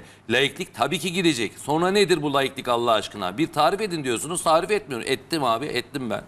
Bugün bu kavramın lügatta bir yeri vardır ama çıkıyor Hocam bu İçişleri konuşmayı ne Bakanı zaman yapmış? devlet dine karışır diyor. Bakın çok konuşması var bununla ilgili de. Hocam, Geçenlerde şekilde, daha bakın. iki sene evvel dedi ya. Şimdi. Tüm hayatımızın tüm devre- devrelerini İslam'a göre kurmak zorundayız. Sizin Hayır. güncelleme olmalıdır Şimdi. dedikten bir yıl sonra da hayatım din hayatın içinde olacak ve devlet ve birlikte bu yapılacak diye. Yani birbiriyle çok çelişen açıklamaları var Sayın Cumhurbaşkanımız. Şimdi hocam eğer e, bu e, eğer Türkiye'nin siyasal İslam'a doğru gittiğini düşünüyorsanız ya da böyle bir tehlike olduğunu düşünüyorsanız ben 19 yıllık tecrübeyi sorarım. 19 yıllık te- tecrübede Türkiye'de Türkiye'nin siyasal AK Parti tarafından ya da Cumhurbaşkanı tarafından siyasal İslam'a götürüldüğünün tek bir emaresi yok. Başörtüsü yasağının kaldırılması mı? Hayır. size. Ee, Ayasofya'nın açılması mı ya da Üsküdar'a cami yapılması mı? Bunlar çok Türkiye'nin tarihindeki Yok, yok, bunları- İslam'ın bir parçası. Şimdi bir e, siyasal İslam'ı değerlendirirken hep biz ya Taliban'ı ön plana çıkarıyoruz ya Suudi Arabistan tecrübesini ya da İran tecrübesini. Hani her ülkeyi kendi bağlamında değerlendirmek tabii, lazım. ya. Taliban özellikle Taliban'ı üzerine çok fazla metin okudum. Türkiye'deki birçok tezi okudum. Taliban'ın kadın karşıtı söylemi, sert İslami yorumu e, İslam'ın bizatihi kendisinden gelmiyor. Peştun milliyetçiliği. Taliban Peştundur hocam. Tabii. E, kadın karşıtı dili temelde Peştun olmasından kaynaklanır. Tarihsel Çünkü kadında var. çünkü kadın e, düşünün İslam tarihini düşündüğünüz zaman e, Hazreti Peygamber'in ilk eşi Hazreti Hatice ömrünün sonuna kadar ölünceye kadar toplum hayatının içindeydi. Ticaret yapıyordu. Ama Taliban'ın İslam anlayışını ortaya koyduğunuz zaman çünkü Peştunlarda namus olgusu kadın merkezlidir. Kadının evin dışına çıkması, arabaya tek başına binmesi Peştun vali örfü derler. Ee, Peştun e, kültüründe bunlar e, namusa aykırı eylemler olarak görülür. Bunun dinle hiçbir alakası yok. Hatta daha öte Taliban lideri Usame Bin Laden'in e, Molla Ömer tarafından misafir edilmesi ve Amerika'ya teslim edilmemesinin temel gerekçesi çünkü Peştun milliyetçiliğinde ya da Peştun vali örfünde bir misafir asla düşmana teslim edilmez. Onun için ABD'yi e, ile karşı karşıya kalır. Biz e, Taliban'ı değerlendirirken doğrudan işte İslam şeriatı diyoruz ve başka bir algı çıkıyor. Ya da aynı şekilde Suudi Arabistan'a gittim ben. Birçok sizin gibi birçok İslam ülke, ülkesini gördüm. İslam ülkelerini değerlendirirken İslam'ı başka bir kotada değerlendirmek lazım. Çünkü İslam ülkeleri berbat durumda. Hiçbir tane yani neden mesela daha önceki Hepsi programlarda en çok Müslüman benim diyor ama. İşte Ha, geldik mi laikliğin neden önemli Evet, olduğunu. tabii. Tabii işte. ki laikliğin önemli Hocam olduğu onu konusunda hemfikiriz zaten. Ben de laikliğin önemli olduğunu e, söylemeye gerek yok. Zaten laiklik kendini yeterince ortaya koyuyor. E, bence AK Parti döneminin de Cumhurbaşkanı Erdoğan'ın da ortaya koymuş olduğu e, olumlu örnekler bizatihi laikliği zedelemekten öte muhafazakar kesimle laiklik arasındaki makası kapattı. Şu anda e, emin olun e, yapılan anketlere de kontrol ettiğiniz zaman artık bu ülkedeki insanların ancak %7 %8'inin laiklikle problemi vardır. Artık laiklikle ya da seküler zaten toplum sekülerleşiyor. Laiklikle de problemi kalmadı. Bu bence e, siyasal İslam'ın yani Taliban, İran, Afganistan benzeri bir tecrübe çıkmamasının önü e, çıkmamasının asıl nedeni Anadolu İslam'ının bu birleştirici vasfıdır. Hocam bir iki örnek vereyim izninizle. E, bunların yargılamaları devam ediyor tabii. E, ancak e, bir kere en başta size e, biraz özgeçmişimden bahsetmiştim. Şahsen fişlendim. Ve fişlendim ve sürgüne uğradım. E, siyasi İslamcı olduğunu düşünen e, ve yargıyı ele geçirdiğini düşünen bir cemaat tarafından Evet. sürgün edildim. Ben i- kişisel olarak... Hocam ben de isimsiz- yazılarımdan dolayı Fethullah Ya Gülen çok özür tarafından dileyerek bir şey daha soracağım. e, bir e, hukukçu olarak buna e, nasıl dava- bakıyorsun Yani diye e, uğradım. siyasal İslam'da dediğin için dediğiniz için söylüyorum. Diyanet İşleri Başkanı sosyal medya fıkıha göre düzenlenmelidir diyor. Yani biz herhangi bir düzenlememizi, herhangi hukuki Evet. olan bir şeyi bir e, İslam kuralına, kaidesine göre yapacaksak burada o laiklik işte zedelenmiyor mu? sosyal medya fıkıha göre düzenlenmeli. Mesela Ya ne olacak? Türkiye'de ben olmaz mesela sosyal Olmaz medyaya bu, ne yani evet, bu- Diyan- Diyanet İşleri Başkanı'nın önerisi bu. Evet. Yani böyle bir Görevi fıkıh- kötüye kullanmak Ha, direkt evet yani. yani bu Olmaz Ya yani. görevi Bunun kötüye bir- kullanmaktan dava tabii ki. açılıyor mu? Açılmıyor. Ya aç- açılması lazım. Yani en azından görevden alınması lazım. Yani sen bu konulara giremezsin. Hele hele Yani İslam siyasi iktidarın sosyal medya düzenlenmesi diye seslendirdiği bir dönemde Diyanet İşleri Başkanı'na bu topa girmesi doğrudan siyasete girmesi oluyor işte. Dolayısıyla Tamam. aslında Daha iktidara da ötesini zarar söyleyeyim vermiyor mu bu? 2019'da bunu görmüşsündür sen yani ekonomiyle ilgili olduğun için. İslami finans kuruluşlarının bağımsız denetimini 2019 aralığında kıyameti koparttım ben. Denetçiler için e, denetçiler denetimini ne yaparken ne getirildi yönetmelikle Allah korkusu. Allah'tan korkarak denetiminizi yapın diye yönetmeliğe koyduk. Bakın bunlar laik bir devlette gittikçe İslamiyete yani dini kuralların e, şeyde yönetimde egemen olması için yavaş yavaş işaretler olarak görüyorum bunu. Hocam Diğer taraftan 19 yılda neden yapılmadı peki? Ben Yapılmaya aynı soruyu soruyorum. çalışıldı, 19 bakın- yıldan beri niye, neden Erdoğan geldiği gün AK Parti 2003'ten 2007'ye İktidarı kadar bunu kaybederdi. yapabilirdi. İktidarı ya da kaybederdi. şu anda da yapabilirdi. Neden Evet. yapmıyor? Yani İktidarı kaybeder. Düşünün, Ya zaten- iktidarı kaybedecekse zaten yapmaz. O Yok. zaman yine sizi yanlışlıyor. AK Parti evet bu ülkede ben %7 %8'i geçmez layıklık karşıtları bu ülkede. Ya da işte ya anketlere bakın. Ben Şu Sayın anda Cumhurbaşkanı'ndan anketlere- bahsetmiyorum. Ben Hı, e, evet, Diyanet. İşleri Başkanı'ndan bahsediyorum. Ya bu mesela ben de aynı şekilde bu, bu sizinle hemfikirim. Sosyal medya hukuk. Evet sosyal medyanın bir hukuka ihtiyacı var. Çünkü sosyal medya artık Ama o Türkiye yeni Büyük Millet Meclisi'nden e, çıkacak bir hukuka evet, ihtiyacı. Kesinlikle fıkıh yani. Yani. Fıkıh değil. Yani fıkıh ne olur İşte az ben de önce bilmiyorum. nasıl Onun için yargı- Hangi fıkıh? Yani Suudi Arabistan'ın fıkıh anlayışı mı? İran'ın kimi? Fas'ın kimi? Yoksa bambaşka olarak kendimizin diyebileceği bir fıkıh o. Bakın başka bir yere Ee, götürür bu bizi Orada işte. bir hikaye de şu. e, protokol niçin yapılır? Yani protokol sıralaması. İte- protokol sıralaması Neye göre yapılır? Ya devletteki şey, önemine göre Mesela sıralama yapılır. Genelkurmay yani. Başkanı e, ile Diyanet İşleri Başkanı protokolde nerede olmalıdır? Şimdi e, 30 Ağustos'ta Genelkurmay Başkanı tabii ki Diyanet İşleri Başkanı hani oradaki protokol diziminde bana sorarsan çünkü o, o şeyin Ay, bunun hani bir kuralı 30 kaidesi Ağustos'un yok mu? 30 Ağustos sahibi Genelkurmay Başkanı'dır. Yani baktığınız zaman çünkü bir zaferi kutluyoruz yani. Ordunun bir zaferini, Türk ordusunun emperyalizmin kovuşunu kovuyoruz. Orada Genelkurmay Başkanı esas olandır hani bizim tabirimizle. Ama e, geri sıraya düştüğünü işte bununla ilgili basın haberler yansıdı. İşte ya bakın bun- bunların hepsi sıra- sırasıyla saydım zaten bazı örneklerini. Yani e, neleri saydım? Geleneksel tabanı işte Ayasofya'dan başladı. İşte İstanbul Sözleşmesi ile devam etti. Şimdi bununla ilgili işte gittikçe artan bazı şeyler var. E, bunların hepsinin işte bunlar e, e, Diyanet İşleri Başkanı'nın daha ön sıraya çıkartılması filan e, oy kaybeden siyasi iktidarın geleneksel tabanına başvurarak ayakta kalma ihtiyacı. Yazık ki böyle. Böyle olmasın diyoruz. E, biz hala siyasi iktidarlar yani siyasi parti aslında ya şöyle de Hocam söyleyeyim. bence eksik AK Parti- değerlendirme burada şu. e, AK Parti 2008 yılında laiklik karşıtı eylemlerin odağı olmaktan mahkum olmuş bir parti zaten. burada yani bence hangi temel laiklik derken eksiklik anayasanın şu. 68'e aykırılı olduğunu Partilerin yargılanması demişken HDP ile ilgili de bir şey sormak Evet, isterim. mahkemeyle mahkeme kararıyla tescilli AK Parti'nin yani laiklikle ilgili sorunları oldu. Hocam işte hayır. Evet. İşte bu sorunları olduğu söylem ve bir dava açmanız Türkiye'de sonuçta yüzde otuzun üzerinde oy almış o dönemde bir partiyi kapatmaya teşebbüs etmeniz e, işte bambaşka bir laik- sosyolojiyi tetikliyor. işte bambaşka bir sosyoloji tetikliyor ve insanları laiklikten, Kesinlikle ortak değerlerden uzaklaştırıyor. Bence e, burada eksik olan şu Erdoğan e, Erdoğan e, tabii benim yorumum Erdoğan iyi bir lider çünkü toplumun nabzını iyi tutan Pragmatik. Aa, pra- Evet. Tabii sağ siyasetçi pragmatik bir lider toplumun nabzını iyi tutuyor çünkü aynı anda sürekli anketler yapılıyor bu partide. Toplumun entelektüel olarak mesela ben son bir anketi gördüm. Hangi değerler ön planda? Atatürkçülük ön planda, Kemalizm ön planda, ulusalcılık, milliyetçilik, ülkücülük. Yani aslında bunlar bir şekilde bizim ortak paydamız. Mesela siyasal İslam burada yoktu. Neden kalmadı? Ee, Aslında bunu çünkü yok eden de AK Parti o sosyolojiyi. Bizzat tabii ki bu sosyolojiyi AK Parti Evet. yok etti. Bu bağlamda siyasal İslam'dan katılıyorum. öte e, ya bizim bence Türkiye'deki siyasal İslam'ın yani siyasal İslam derken şunu kastediyorum.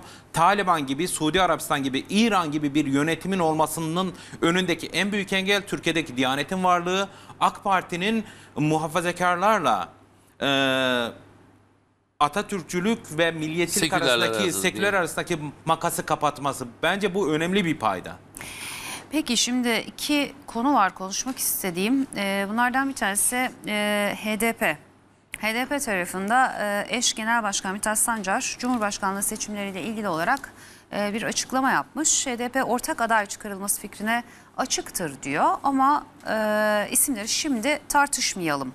Önce ilkeler ve seçim güvenliği konuşulmalı diyor. Nasıl değerlendirirsiniz? Nasıl değerlendiririm? Evet. Tabii şu anda bu temelde e, Cumhurbaşkanı adaylığının e, Cumhur özellikle mil- e, Millet Cephesinde e, Millet İttifakı'nda bu adayın kimin olacağı tartışması ciddi bir tartışmasında şu son dönemde son birkaç aydan beri biz bunu yaşıyoruz. Burada sanki şu anda e, ikili bir blok görünüyor Millet İttifakı içerisinde. Bir taraftan Millet İttifakı içerisindeki sağ cenah, e, sağ ideoloji yakın, sağ ideolojiye yakın olan e, aktörler kendi içinde bir ittifak oluşturmuş durumda. Örneğin İmamoğlu, e, Ekrem İmamoğlu, örneğin Meral Akşener, örneğin Ankara Belediye Başkanı Mansur Yavaş. Bu e, ideolojik anlamda seçmen tabanı itibariyle de sağa yakın politik aktörler. Bir de e, Millet İttifakı içerisinde sola yakın olan Kemal Kılıçdaroğlu gibi, Tunç Soyer gibi politik aktörler var. Burada e, Cumhur İttifakı içerisinde ciddi bir e, Cumhurbaşkanlığı adaylığı noktasında bir e, bir iktidar yarışı var. E, bu süreç e, temel itibariyle benim görebildiğim kadarıyla HDP'ye geleceğim burada. HDP önemli bir belirleyici e, fakat bu yüz- seçim barajının %7'ye düşürülmesi HDP'yi de HDP'yi de ciddi anlamda zarar verecek. Çünkü e, şu anlamda zarar verecek. E, HDP'ye giden %7 yani e, ödünç oylar geri geldiği anda ciddi anlamda HDP kendi oy tabanına dönmüş olacak. E, burada ee, özellikle Millet İttifakı bağlamında temel problem e, kamuoyuna vermiş oldukları algı e, hani Anadolu'da bir söz var kavgalı eve kız verilmez. Bu ayrışma kendi içindeki çatışma e, Anadolu maalesef sözlerini de bir artık değiştirmek lazım. Kız vermek Olabilir. ne ya? Anadolu kültürü. Aman Mine'nin yanına deme. Maalesef, maalesef.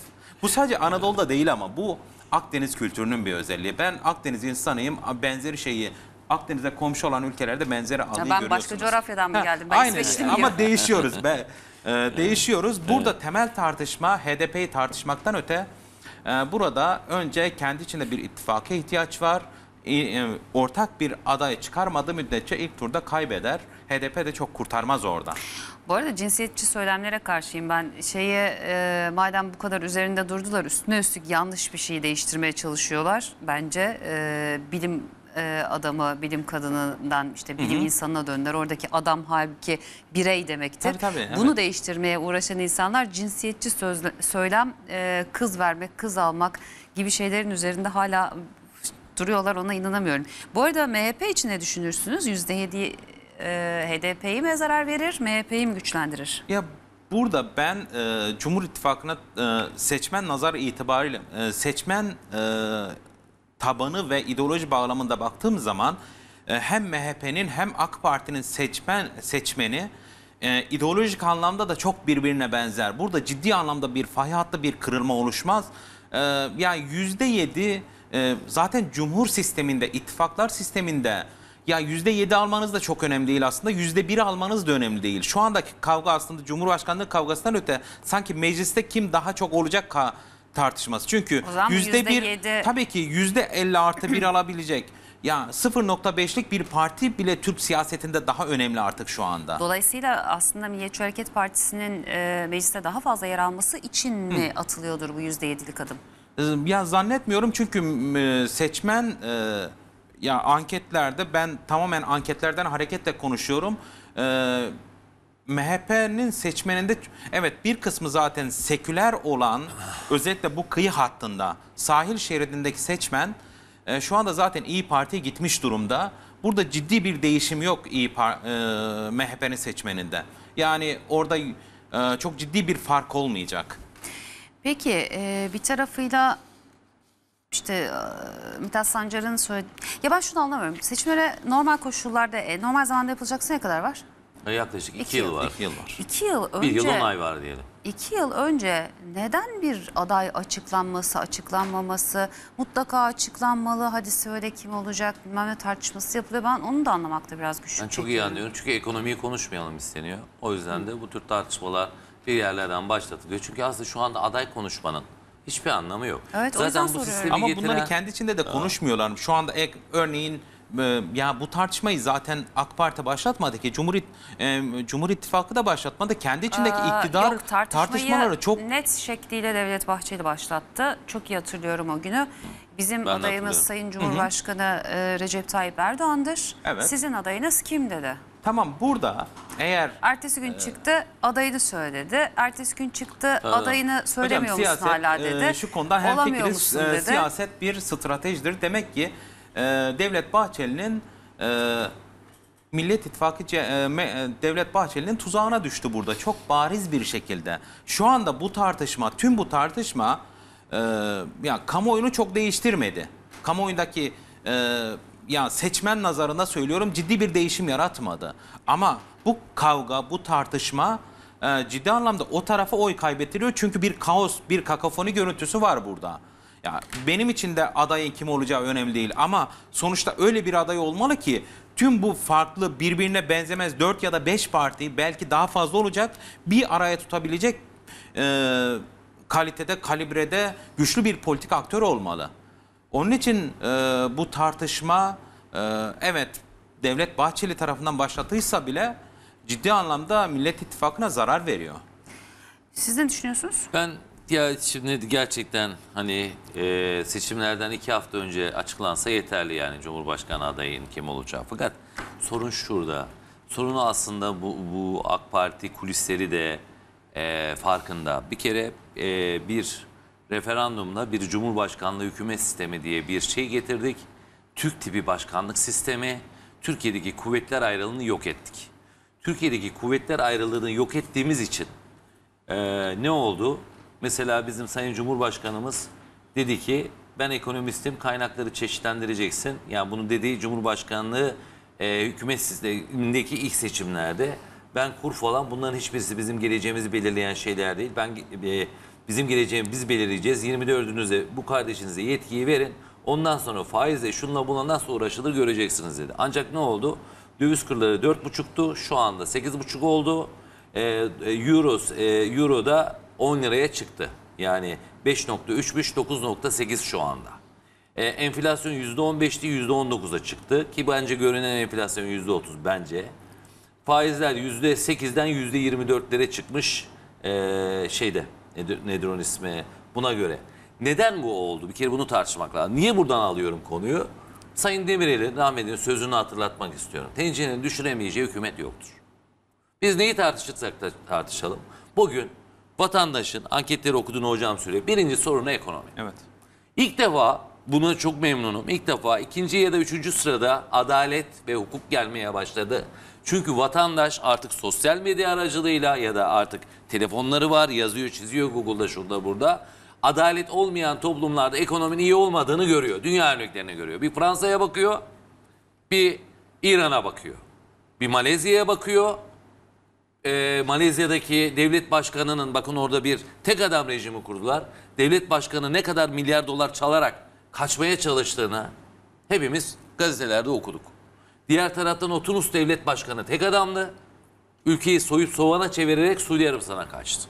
Demek ki demokrasi, hukuk devleti ve adalet, şeffaflık, mahkemelerin bağımsızlığı her devlet için önemli. Biz ama bu Cumhurbaşkanlığı hükümet sistemiyle kuvvetleri birleştirdik. Yürütmeye atadığımız kişi, demin konuşmanın başında demiştim ya ilk girişimizde, artık karşı mahalle diyeceğimiz yani Cumhur İttifakı tarafı, Millet İttifakı tarafında, Millet İttifakı tarafı bunu söylüyordu. Cumhur İttifakı tarafı hayır bu sistem çok iyidir diyordu ama bugün sistemin iyi olmadığı eleştirileri Cumhur İttifakı'ndan da geliyor. Revizyondan konuşuluyor. Neden revizyondan konuşuluyor? Cumhur İttifakı hukukçu olduğum için çok acı çekiyorum hocam. Böyle sistemdeki ajitasyonlara kusura bakma 30 sene hukuka emek verip de olmadığını görünce gerçekten üzülüyoruz. Çünkü bu sistemi yürürlüğe girdiniz. Tamam kötü bir sistem. Tek adam rejimi, kuvvetler birliği getiriyor ve bu buradan iyi bir yere gidemiyoruz. Bunun için zaten bazı sorunlar yaşıyoruz. Adalette, liyakatta, her şeyde. E tamam bunu düzeltmek için belli 3 ay içerisinde kanunlar çıkartmaları gerekiyordu hocam. 3 ay içerisinde bu sistemin uygulanmasını gösteren kanunlar çıkması. Sadece anayasaya yazman yetmez bu. Bu yasalar aradan 3 yıl geçti. 3,5 yıla gidiyoruz çıkartmadılar hocam. Yeni seçime gidiyoruz hala çıkmadı. Yani bu sistemi işletecek sistemi Cumhur İttifakı da getirmedi. Ama neyi konuşuyoruz şimdi? Seçim kanunu konuşuyoruz. Bunu ne zaman konuşmalıydık? Hatta bunun için yasada hüküm vardı. Bu kanun yürürlüğe girdi yani Cumhurbaşkanlığı hükümet sistemi yürürlüğe girdi. 3 ay içerisinde seçim sistemini buna göre değiştirecekti yapmadılar. Ne zaman yapıyorlar? Anketlerde oylar düşük gelmeye başlayınca ne yaparmış gidecek iktidar? Seçim kanunlarıyla oynarmış. Şimdi seçim kanunlarıyla oynuyoruz. %7'yi tartışıyoruz. Şimdi %7'ye gelince %7'nin kime faydası var? HDP'ye bir etkisi var mı? Reklamdan Tartışalım. sonra. Olur. Reklamdan sonra devam ediyoruz.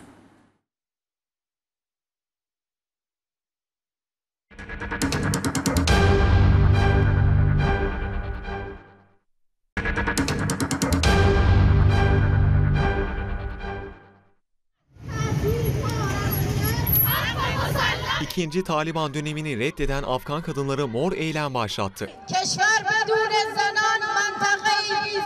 Kendilerine doğrultulan silahlara bile kafa tutan Afgan kadınları özgürlük diye haykırıyor. Taliban,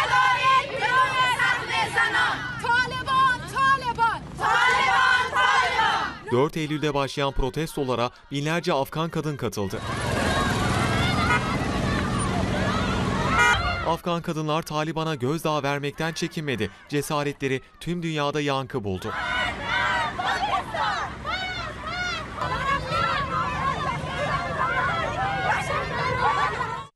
Taliban bilmeli ki karşısında 20 yıl önceki Afgan kadını yok. Her dediklerini yapacak, burka giyip eve kapanacak kadınlar değiliz. Korkmuyoruz. Daha önce özgürdük, rahat çalışıyorduk. Tek başımıza sokağa çıkıyorduk. Taliban ile eve kapandık. Endişeliyiz. Şu an dünyanın gözü Taliban'ın üzerinde olduğu için henüz sert kurallarını uygulamaya koymadılar. Biliyoruz ki zaman geçtikçe baskıları artacak. Kadınlara yönelik kurallar getirecekler. Bizi evlere kapanmaya zorlayacaklar. Artık Afganistan, Kabil eskisi gibi değil. Korku var ama mücadelemiz de var. Taliban geldi, tek ses çıkartan, itiraz eden kadınlar oldu. Asfarat ha Bedakşan. Asfarat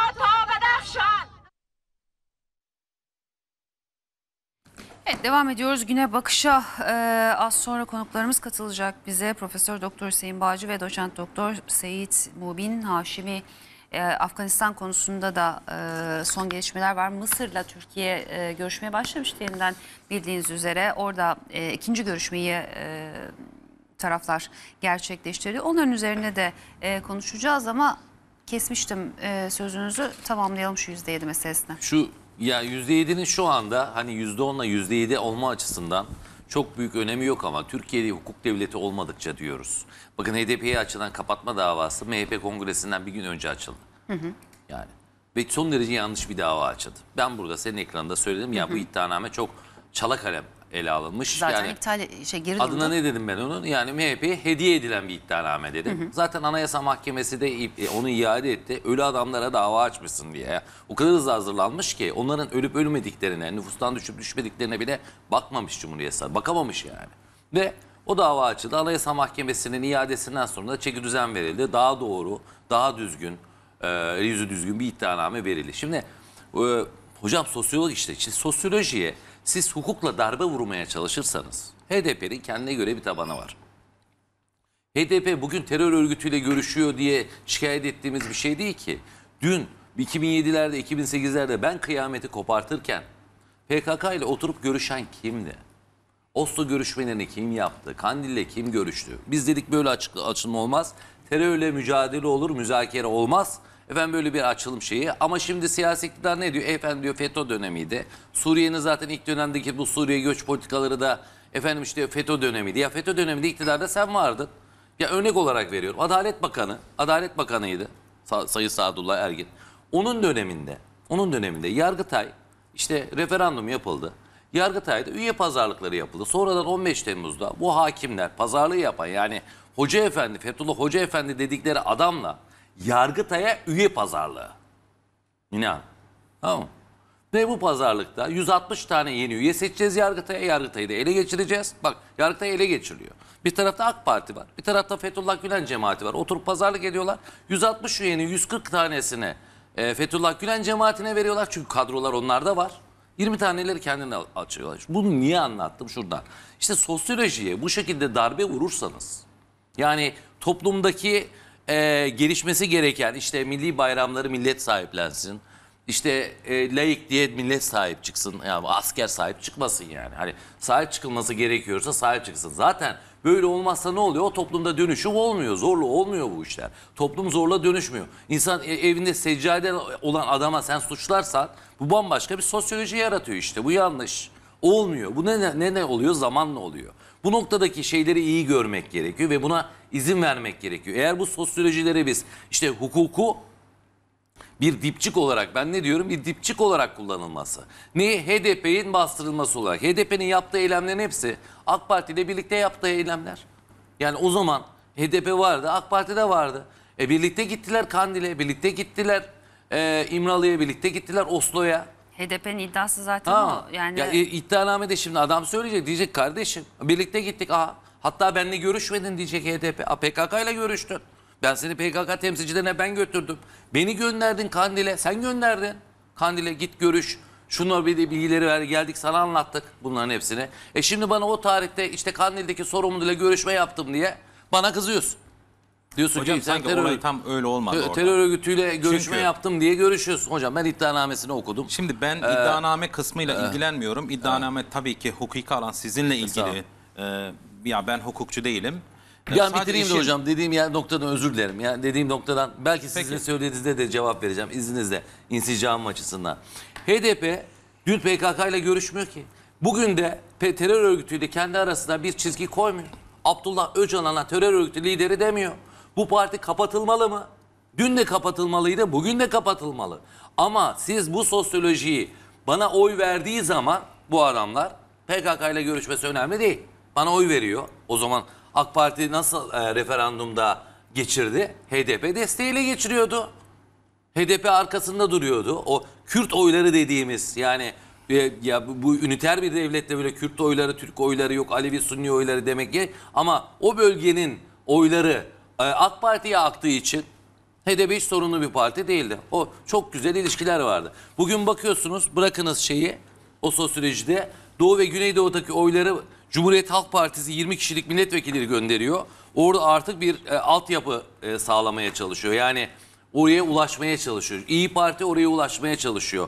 İşte Deva Partisi'nin orada ne kadar etkin olduğunu artık anketler bize söylüyor. Yani AK Parti'nin oradaki oy tabanı hızlı bir şekilde Millet İttifakı'na giriyor. E şimdi buna engel olmak için siz bir kapatma davası açar. Sizin verdiğiniz oylar terör örgütüne verilmiş oylar dediğiniz zaman halk artık bunu yemiyor. Böyle olmuyor bu işler. Hayat seçimlerde 2018'de neyi gördük? İşte HDP şeye oy verirseniz Millet İttifakı'na bunlar zillet. E, vereceğiniz oylar yüzünden işte e, sizin telefon faturalarınız, elektrik faturalarınız, su faturalarınızı PKK üyeleri getirecek dediler. Ya, açıkça bunlar konuşuldu, edildi. Saçma sapan konuşmalar da tabii. Dolayısıyla şimdi orada oy kaybı olduğu için mi %7'ye Şimdi Mansur? Yavaş su, su faturalarını PKK ile mi gönderiyor vatandaşa? Yani onu onu mu kabul edeceğiz yani? Şimdi siyaseti işte hukuk zemininin dışına taşırıp da böyle hukuku da çerçevesine koyup daha doğrusu daha belki hocamın alanında söylemekten adaleti herkes için Ya tabii vicdanla burada bir defa uygulamazsa hukukun alanıyla siyasetin alanının farklı olduğunu söyleyerek giriş yapmış olayım. Bir Evet. neden e, yüzde yedi tartışması? Bunun birçok nedeni olabilir. Belki siyasetçilerin kendi stratejik hedefleri olabilir ki bir siyasi partinin ya da siyasetçinin en temel hedefi seçimi kazanmaktır. Bu Millet İttifakı için de geçerli, Cumhur İttifakı için de geçerli. Bir, biz ama neden bunun için her, her yol mübah değildir diye Kesinlikle. çekici bir Şimdi evet. Ee, bunun olma temelde neden yüzde yedi? Bir e, baraj tartışması Türkiye'de 1980'den itibaren 80 sonrası geldi karşımıza. 80 darbesinden sonra yüzde on baraj geldi. Çünkü toplumda ciddi anlamda koalisyonlardan dolayı bir istikrar, siyasi istikrar sağlanamıyordu. Sonrasında baraj geldi bizim karşımıza. Barajı konuşuyoruz. Ee, tüm e, seçim sistemiyle ilgili Türkiye'de yapılan tartışmalarda seçim sisteminin değişmesi gerektiği, barajın düşürülmesi ya da olmaması gerektiği tartışması yapıldı. 40 yıldır. Bundan dolayı işte son 20-30 yıldan beri biz bunu tartışıyoruz. Bundan dolayı aslında temsilde adaletin biraz daha sağlanabilmesi için %7 olabilir. Ha benim için %7, %10 çünkü cumhur sistemi zaten bu ittifaklar sistemi zaten bunu çok anlam anlamsızlaştırdı. Çok önemli değil. 0.5 olan bir parti de artık çok kilit bir partiye dönüşebiliyor Türk siyasetinde. Bir diğer nedeni işte İlk temsilde partiye dönüşüyor dediğiniz Cumhurbaşkanı'nın seçimi konusunda. Ama mecliste yani temsilde adalet sıfır.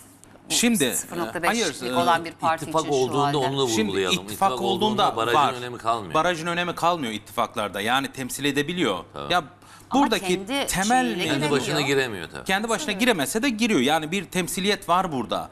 Bunun en temel gerekçesi bu burada zaten Türkiye'de e, sağında solunda böyle bir beklentisi vardı. Bu beklentiyi kısmen karşılandı. Ha şu sorulabilir neden yüzde yedi? Mesela tamamen hiç barajın olmadığı bir e, seçim sistemi düşünün. Bu başka bir tartışma. Bu olabilir mi? Belki ileride doğrudan demokrasiye geçeriz. Bu da olabilir. Ee, ya bunun için bu tartışma ittifaklar sisteminde ve başkanlık sisteminde bu çok anlamlı bir tartışma değil. Ya bu HDP içinde yapıldığını hiç düşünmüyorum. Bence HDP mevzusunda biz şunu konuşmalıyız. Zaten oradaki temel eleştiri acaba MHP için mi yapıldı eleştiri? Ya MHP için neden yüzde yapmasın? Yüzde beş yapsa MHP için daha kolay. Hiç endişe olmazdı. Ama ittifak içerisinde çok da etkilenmiyor Çok MHP. etkilenmiyor bu. İşte Onun öyle için MHP aslında MHP açısından da çok bir, etkisi ya yok. HDP mevzusunda hocama e, katıldığım noktalar var, itiraz ettiğim noktalar var. İtiraz ettiğim kısım şu. Türkiye terörle mücadeleyi e, 1979'dan itibaren PKK kurulduğu dönemden itibaren terörle mücadele ediyor. Hep güvenlik bürokrasi, askeri, polisi, jandarması terörle mücadele etti. Tamamen güvenlik eksenli bir mücadele vardı. Fakat AK Parti döneminde küresel dünyadan bize sürekli şu eleştiri sadece özgürlükleri, insan haklarını rafa kaldırıyorsunuz, güvenlik eksenli mücadele yapıyorsunuz diye bir eleştiri vardı. AK Parti bu eleştiriye çözüm üretmek için bir açılım politikası geliştirdi. Ben o süreçten sonra bölgeye gittim. Açılımın halkta bir karşılığı olduğunu gördüm. O dönemde evet e, devlet e, arka kapı di- diplomasisini bir çalıştırdı. Bazen medyada gördük biz biz e, artık PKK ile terörle silahları bıraktırmak gibi kutsal bir gaye doğrultusunda evet bir görüşme sağlandı ama yine bizzat PKK e, iki polisimizi öldürerek öldürerek şehit ederek bu süreci katletti. Ha, devlet yeniden bir karar aldı artık güvenlik ve özgürlüğü beraber götürmeye başladı. Şu anda o dönemdeki HDP'nin pozisyonuyla şu andaki HDP'nin pozisyonu çok farklı. Çünkü bir siyasi partinin temel varoluş gerekçesi terör ile şiddet ile arasında mesafe koymaktır. Ya mesela ben e, tabii siz kapatılması gerektiğini düşünüyorsunuz. Ben HDP'nin kapatılmaması gerektiğini düşünüyorum. Ya hukuken Çünkü inan bana hukuku o hale ya geldi hukuki ki hocam. demiyorum hocam. Söyleyeyim, Hukuken- kapatsan da anlamı yok. Hemen ertesi Ha, gün yeni ertesi partiyle gün gidiyor yeni ya. bir parti kurulacak. Ya AK Parti Türkiye bunu o hale zaten getirdi. Kapatma 10 davası 11 zaten tane. Zaten yani. evet kapatma Beş Tabii. aymış. Ve Beş aymış. Yani işte kapatılma parti kapatmak zaten gittikçe zorlaştı bu Tabii. ülkede. Bir de kapattığınız anda bir gün sonra yeni parti bir tabela partisi kurulabiliyor. Hemen kurulacak ya. Kürt Zaten siyaseti de bu de var. noktada zaten oldukça dirençli.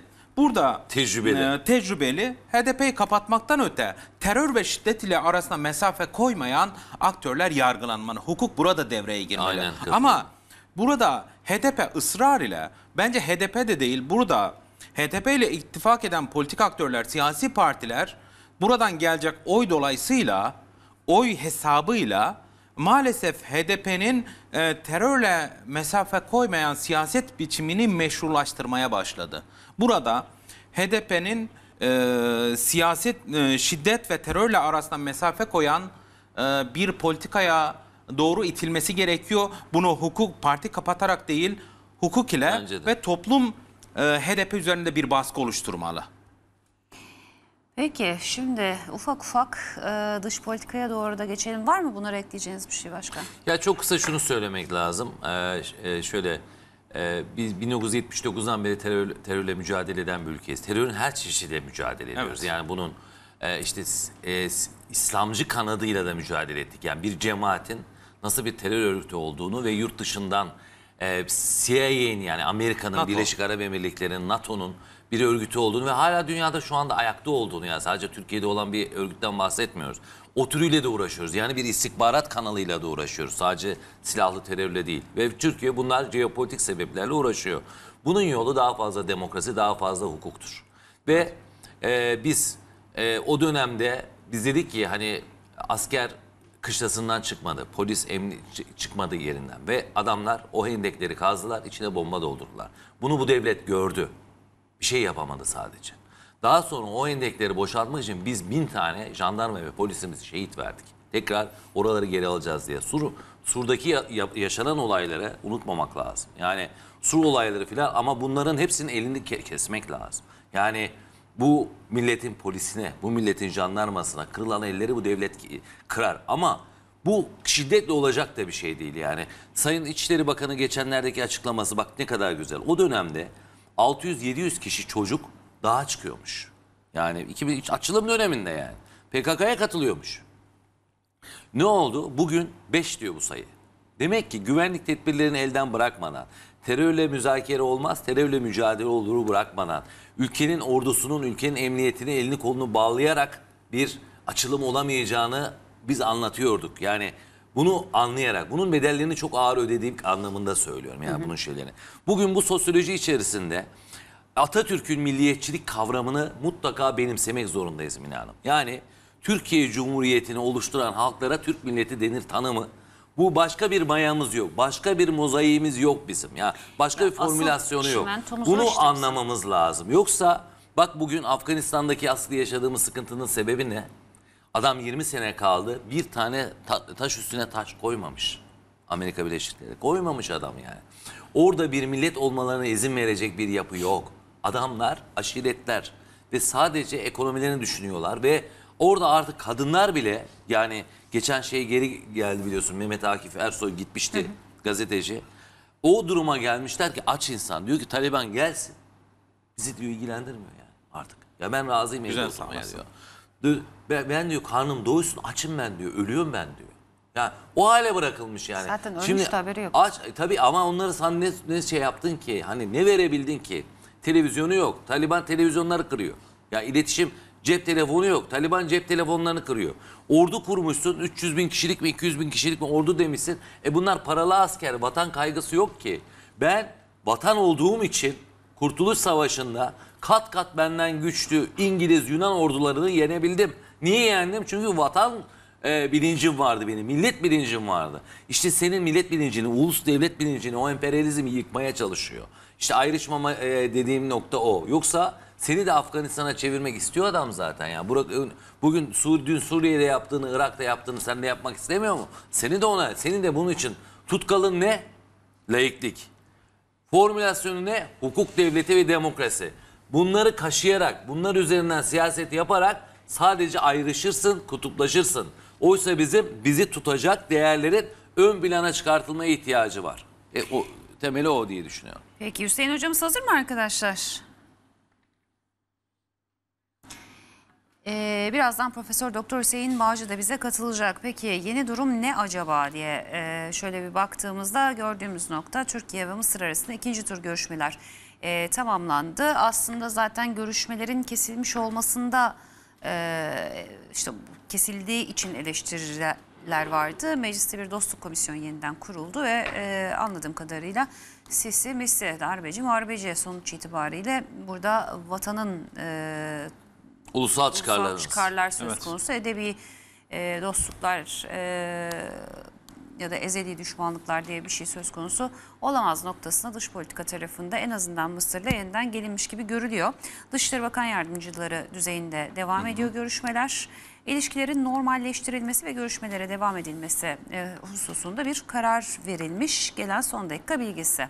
Nasıl değerlendiriyorsunuz? Ya tabii bölgenin en önemli aktörlerinden birisi, en güçlü devletlerinden birisi Mısır. Türkiye uzun ya süreci uzun dönemden ben de- uzun dönemden beri takip etmeye çalışıyorum. Evet, bölgede bir istikrar sağlanacaksa e, bölgeyle bir şekilde ya bu sadece Mısır değil, aynı şekilde İsrail'le de ya da diğer bölgenin işte Birleşik Arap Emirlikleri gibi devletlerle ciddi anlamda bizim e, artık diplomatik e, kapasitemizi artırmamız gerekiyor. Sonuçta aynı coğrafyada yaşıyoruz, aynı dünyanın parçasıyız ve bu bu coğrafya evet maalesef sorunları yoğun olarak olduğu bir coğrafya. Burada artık ulus devletler kendi sorunlarını çözemiyor, çözme kapasitesi yok. Örneğin sadece Suriye'deki göç hadisesini hadisesinden tüm dünya etkilendi. Benzeri şey Mısır için de geçerli. Maalesef Mısır'da uzun zamandan beri arka kapı di- diplomasi işliyordu. Ee, asıl olan sizin de söylediğiniz gibi Churchill'e atfen e, işte söylenen asıl olan e, ülkelerin çıkarıdır, ulusların çıkarıdır. Ezeli dostluk ya da düşmanlık yok. Olmamalı da AK Parti son dönemden itibaren benim görebildiğim kadarıyla e, yenilikçi diplomasi denilen bir e, dil var yeni dönemde. Evet ülkelerle bir ülkenin başka bir ülkeyle problemleri olabilir. Nasıl Türkiye'nin ABD ile problemi varsa ya da işte Birleşik Arap Emirlikleri ya da Mısır'la problemi olabilir ama ortak hareket edebileceği alanlar da olabilir, olmalı. E, bu tür e, bir açılım doğrultusunda Mısır'la ciddi anlamda ki bölgenin en büyük devletlerinden, en güçlü devletlerinden birisi Mısır. Bu bağlamda bu ilişki olması e, bu müzakere dilinin mü- müzakere kapasitesinin artırılması gerekiyor. Peki Profesör Doktor Hüseyin Bağcı katıldı bizlere. Merhabalar hocam. Merhabalar Mine Hanım. Ee, Ruşen Bey'e ve Ramazan Bey'e de selamlar. Saygılar hocam. Teşekkür ediyoruz hocam vakit ayırdığınız için. Yeni dönem başladı gibi bir manşet atsak doğru mudur o manşet? Yani eskiye dönüş diyelim. Yeni dönem değil de yani... e, Hadi karşıyı değiştirelim zaten- arkadaşlar. Yani o da doğru. Peki neden doğru. e, eskiden görüş yani ne oldu da biz görüşmeyi kestik? Ne oldu da görüş, kestiğimiz görüşmeye tekrar başlıyoruz? Ve tabii, arada ne e, kaybettik? Müsaade, müsaade ederseniz ben e, Ramazan Bey'in bir şeyini e, maddi olarak düzelterek başlamak istiyorum. O Winston Churchill değil de Lord Palmerston'dır. İngiltere'nin 19. yüzyıldaki başbakan. Ulusların daimi dostları veya daimi düşmanları yoktur. Daimi çıkarları vardır. Ama Winston Churchill de söylediği için Ramazan Bey orada haklı. yani, yani artık böyle anonim türkü gibi oldu. Herkes söylüyor ama orijinal e, şey Lord Palmerston. E, teşekkür ediyorum onu da hatırlattığı için ve doğru da. Yani Ramazan Bey'in son söyledikleri yani komşularla ilişkileri bu coğrafyada yaşıyoruz. E, bu coğrafyada birlikte olacağız. O nedenle sosyoloji açısından da bakıldığında, siyasi açısından da bakıldığında Türkiye'nin e, Mısır'la görüşmesi önemlidir. Mısır ana ülkelerden biridir. Arap Baharı ile birlikte özellikle Mısır'da e, Mursi'nin iktidara gelmesiyle birlikte e, yeni bir e, döneme girmişti Mısır. Hüsnü Mübarek görevden ayrılmak durumunda kalmıştı ama Müslüman kardeşlerin politikaları bütün bu coğrafyada başta Suudi Arabistan olmak üzere işte Körfez ülkeleri olmak üzere ABD dahil herkesin tepkisini çekmişti. Türkiye ise o dönemlerde e, Orta Doğu'daki her ne kadar bugün e, reddedilmeye kalkıs- kalk- kalkışılsa da Türkiye Müslüman kardeşlere büyük sempati e, gösteriyordu ve onları da destekledi. Yani bunu e, tersel olarak reddetmek mümkün değil. Mursi'nin iktidardan e, düşürülüp e, Sisi'nin e, gelmesiyle birlikte şimdiki devlet başkanı Türkiye ile e, Mısır arasında gerginlik yaşandı. Cumhurbaşkanı bunu kabul etmedi. O zaman Cumhurbaşkanı ve Başbakan tabii başında Başbakandı. E, Tayyip Erdoğan, Cumhurbaşkanı Tayyip Erdoğan ama geldiğimiz nokta itibariyle tabii Türkiye biraz da böyle zorlayıcı e, diplomasinin de e, bir sonucu olarak bu e, coğrafyadaki ülkelerle işbirliğine girmek zorunda. Yani Mısır'la görüşmemek gibi bir şey olamaz. Suez kanalı üzerinden geçiş yapacaksınız. E, Akdeniz'de, Libya'da birlikte olacaksınız ama konuşmayacaksınız. Bu olmaz. Veyahut da İbrahim anlaşmalarıyla birlikte e, yeni bir yapılanmaya giren Arap dünyası içerisinde siz Arap dünyasının en büyük ülkesiyle görüşmemezlik edemezsiniz. O nedenle burada yanlıştan dönülme e, durumu söz konusudur. Yani Ramazan Bey'e de alıntı yaparak söyleyeyim. Ülkelerin daimi dostları, daimi düşmanları yoktur. Daimi çıkarları vardır. Türkiye'nin de çıkarları şu aşamada Mısır ile görüşmekten geçer. İsrail ile görüşmekten geçer. Suriye ile görüşmekten geçer. Birleşik Arap Emirlikleri ile görüşmekten geçer. Geçer oldu geçer. Çünkü Türkiye gibi bir e, ülkenin bu ülkelerle e, bir e, çatışma içinde e, olmasının gereği yok. İsrail e, bu ülkelerle bu kadar iyi işbirliği içindeyken bizim işbirliği içinde olmamamız tabii ki bir siyasi yanlış olarak e, telakki edilirdi. Bu yanlışlıktan dönülüyor. Bu önemli. E, Özellikle e, ikinci defadır yapılan görüşmeler e, belki en üst düzeyde yani Cumhurbaşkanları düzeyinde bir e, karşılıklı el sıkışmayı beraberinde getirmemiş e, getirmeyecek olabilir ama büyükelçiliklerin açılması, e, ticari ilişkilerin e, devam etmesi önemli. E, 90'lı yıllarda Hüsnü Mübarek ile Süleyman Demirel arasında Orta Doğu'daki gelişmeleri 6 ayda bir e, görüşülen bir platforma çevirmişti Türkiye Mısır'la. Çünkü Mısır Arap dünyasının e, anası konumunda. Yani kültürel anlamda, siyasal anlamda, e, dini anlamda istediğiniz e, e, açıdan alın. O nedenle e, bir e, yeniden e, ilişkilerin düzelmesi hem Türkiye için hem de Mısır için önemlidir.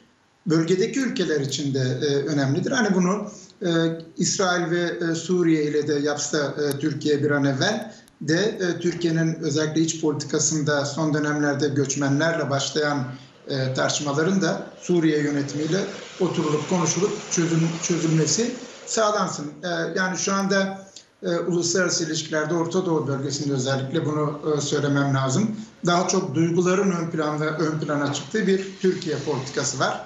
Yani Cumhurbaşkanının istemediği, görüşmediği bir e, yapı var. Halbuki e, Suriye ile biliyorsunuz e, çok yakın bir ilişki vardı. E, Schengen Anlaşması'nı Schengen Anlaşması'na dönüştürdük. Sınırlar kaldırıldı. 155 tane anlaşma imzalandı. Yani e, gayet güzel böyle e, Orta Doğu'da Türkiye ile Suriye arasında ilişkiler düzelmişti. Hatta Türkiye Suriye'yi Avrupa Birliği'ne e, ortaklık statüsünde bir e, yapı içinde teklif etmişti.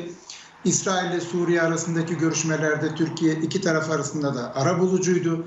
Yani e, 80'li ve 90'lı yıllarda 2000'li yılların ortalarına kadar Türkiye İsrail ile e, ve Suriye ile ilişkileri çok iyiydi. Arap Baharı bize yaramadı. Çünkü orada Türkiye'nin de burada detayına giremeyeceğim bir e, yanlış sapma, yanlış hesaplama oldu. Arap Baharı'ndaki dengeleri Türkiye iyi hesaplayamadı diye düşünüyorum. Bunun sonucu da e, tabii ki birçok ülkeyle e, gerginlik yaratıldı. Ama da burada sadece Türkiye'nin e, sorumlu olduğunu e, da söylemek istemiyorum. Yani diğer ülkelerin de tabii kendi açılarından e, aldıkları tavırlar Türkiye'nin politikasında e, etkili oldu ama bugün için e, en azından e, diyalogsuzluğun olmadığı bir e, siyaset dönüş iyi bir şey. Konuşmak iyidir. En, her konuda en fikir olmak zorunda değilsiniz ama çıkarlarınızı yeniden tanımlarsınız, e, ilişkilerinizi e, geliştirirsiniz ve e, bölgesel bir güç olarak tabii Türkiye Mısır'la bir şekilde 22 Arap ülkesinin sonuçta en önemli ülkesi konumunda Mısır. 22 Arap ülkesinin e, merkezi zaten Mısır, Arap Birliği'nin e, uzun yıllardır e, genel sekreterliğini yürüttü, başkanlığını yürüttü. E, Mısır e, öyle kolay yabana atılacak bir ülke değil. E, o nedenle Türkiye'nin yatırımları açısından da çok önemli. Bakın İsrail Mısır'la iyi, İsrail Birleşik Arap Emirlikleri ile iyi, Ürdün'le iyi, Katar'la iyi, Kuveyt'le iyi. E biz niye kötü olalım? Yani bunu açıklayacak bir e, mantık yok. E, olmaz. O nedenle geri adım atılması iyidir. E, Büyükelçi Sedat Önal'ın gör, görüşmelere başkanlık etmesi önemlidir. Önemli bir e, diplomattır. Orta Doğu'yu iyi bilenlerden biridir. Bir de tabii Cumhurbaşkanı'nın da gördüğüm kadarıyla bu görüşmelere onay vermesi iyi bir gelişmedir. Türkiye'nin ulusal çıkarları açısından, bölgesel çıkarları açısından iyi bir gelişmedir. Türkiye herkesle konuşabilmeli, herkesle e, kanalları açık tutabilmelidir. İçine kapanma, duyguların ön plana çıktığı bir politikanın uygulanması gördüğünüz gibi sadece zarar veriyor. O nedenle yine Ramazan Bey'e alıntı yaparak söyleyeyim. Yani ulusların daimi dostları, daimi düşmanları yok. Daimi çıkarları var. Biz de yeni baştan çıkarlarımızı tanımlıyoruz. Mısırlılar da e, çıkarlarını yeni baştan tanımlıyorlar. O zaman oturup konuşacağız. Bence iyi bir gelişme, güzel. E, doçent Doktor Seyit Mubin Haşimi de bize katıldı. Afganistan Pervan Üniversitesi Rektör Yardımcısı. Hoş geldiniz. E, merhabalar, e, hoş bulduk. Teşekkür ederim size, bütün izleyicilerimize ve selamlarımı bütün konuklara iletiyorum. Biz de teşekkür ediyoruz vakit ayırdığınız için. Hem son durumu bir sormak isterim size hem de e, yeni gelen hükümet, başbakan terörist mi? E, işte görüşmeler nasıl yapılacak? Üniversitelere ilişkin çeşitli biz burada e, fotoğraflar e, görüyoruz. Araya perdelerin gerildiği, kadınlarla erkeklerin ayrı e, yerde ama aynı sınıf içerisinde oturtulduğu. E, oradaki eğitim hayatını da çok merak ediyorum. E, bilgilendirir misiniz bizi lütfen? Ee, tabii ki e, isterseniz e, şeyden eğitim hayatından başlayalım. E, biliyorsunuz e, yaklaşık 3 hafta önce Taliban Kabil'i ele geçirdiler ve yeni bir yönetim, yeni bir hükümet e, kurmak istiyorlar ve dün de e, hükümetlerini ilan ettiler bu bakan vekillik, e, vekillerini. E, şimdi e, eğitime baktığımız zaman e, Taliban'ın e, belli çizgileri vardır eğitimle ilgili. Ee, sanırım onlardan e, iki tane çok önemli konu var. Birincisi ders müfredatı. Ee, hem lise, işte e, e, okul seviyesinde hem de üniversite seviyesinde e, bütün müfredatın e, dini temelli olmasını istiyorlar. Yani İslami ilimler, İslami ilimler, İslami dersler e, ağırlıklı olmasını istiyorlar. İkinci çizgisi de bu karma eğitim meselesinin ayrılmasıdır kızla erkeğin e, aynı ortamda eğitim görmemesidir. E, bu olaya böyle baktığımız zaman aslında Taliban'ın e, yaklaşık 21-22 yıl önceki e, yönetiminden biraz daha yumuşak e, olduğunu söyleyebiliriz.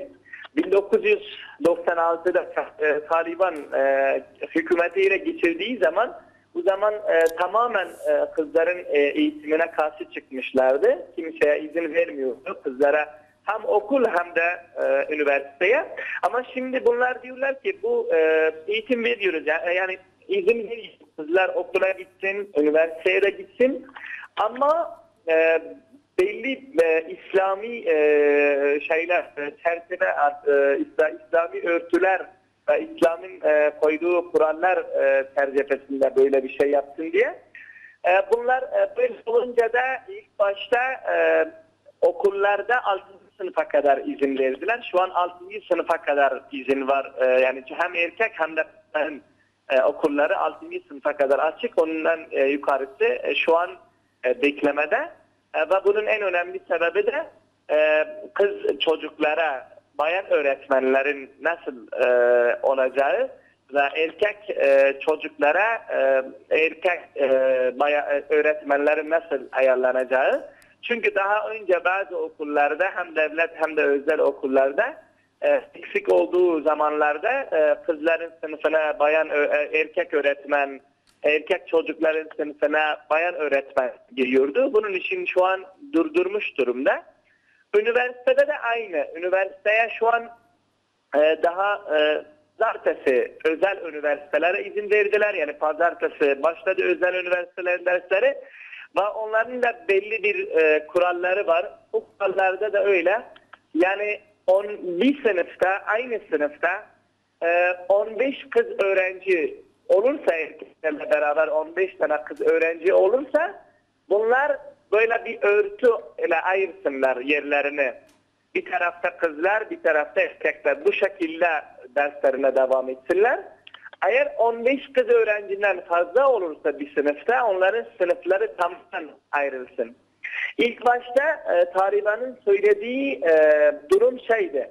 Yani işte kız öğrencilere e, e, bayan öğretmenler, hocalar e, bulmalısınız ve erkeklere de erkek öğret, e, hoca.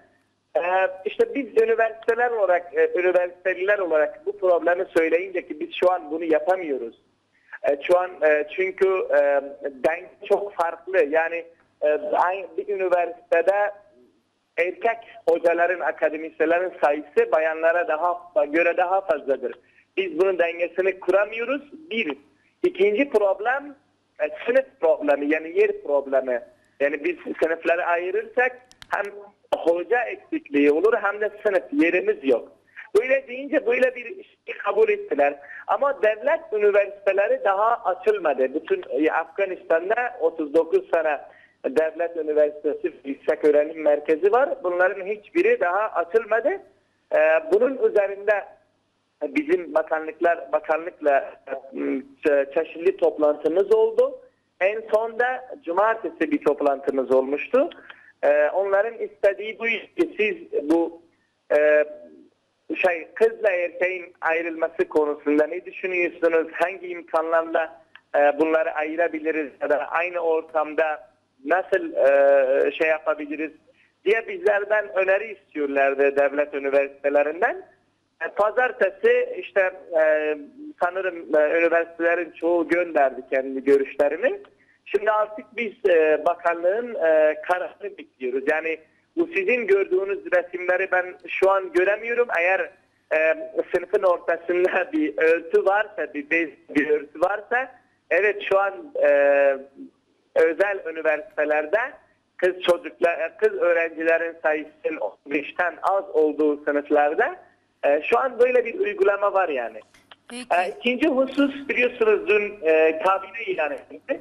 Bütün e, şu anki e, yani şu an e, dün ilan edilen e, bakanlar hepsi bakan vekiller yani e, no, şey resmi bakan değiller.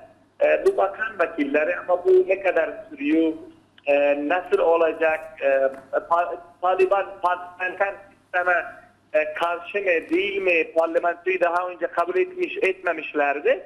Parlamento yerinde bunlar şurayı e, tercih ediyorlar. Eğer e, parlamentoyu kabul etmezse şu an devlet başkanı belli değil zaten. Bakanlar nasıl atanıyor? Onlar e, daha belli değil. E, biz onu da bekliyoruz. Bakalım ba- devlet başkanı kim olacak? Atamalar nasıl olacak? İşte eski anayasaya göre ataklar e, Cumhurbaşkanlığı Cumhurbaşkanı önerisi ve parlamentodan alınan oylarla e, bakanlar atanıyordu. Ama şimdi bunlar direkt bakan vekilleri atadılar. Bakalım önümüzdeki süreçte e, bizi neler bekliyor. Peki teşekkür ediyorum. Ee, iki dakikam var. Bu konuda size hiç söz vermedim. O İki söz iki okuyacağım. dakikayı- O yüzden çok az kaldığı için Atatürk'ün iki sözünü okuyacağım. Şimdi Taliban'ın kadınlarla uygula, ilgili uygulamalarını görünce bu ülkenin lideri Ulu Önder Atatürk ne demiş? Milletimiz güçlü bir millet olmaya azmetmiştir. Bunun gereklerinden bir de kadınlarımızın her konuda yükselmelerini sağlamaktır. Bundan dolayı kadınlarımız ilim fen sahibi olacaklar ve erkeklerin geçtiği bütün öğretim basamaklarından geçeceklerdir. Bir diğeri de kadınlar içtimai hayatta erkeklerle birlikte yürüyerek birbirinin yardımcısı ve destekçisi olacaktır. Milletin kaynağı, toplumsal hayatın temeli olan kadın ancak faziletli olursa görevini yerine getirebilir. Ve bir toplumun, bir milletin yarısı okur. Bir sözü de o.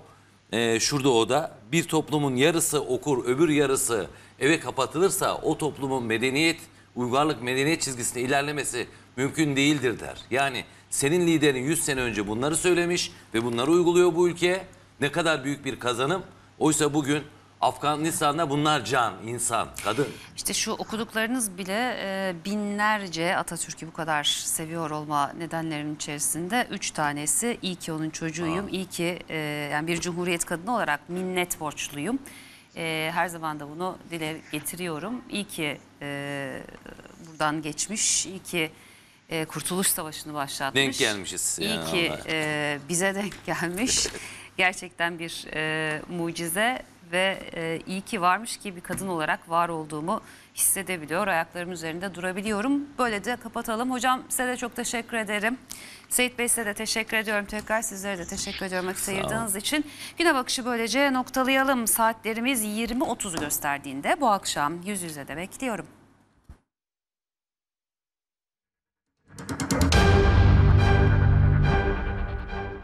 Bitcoin üç kolay adımda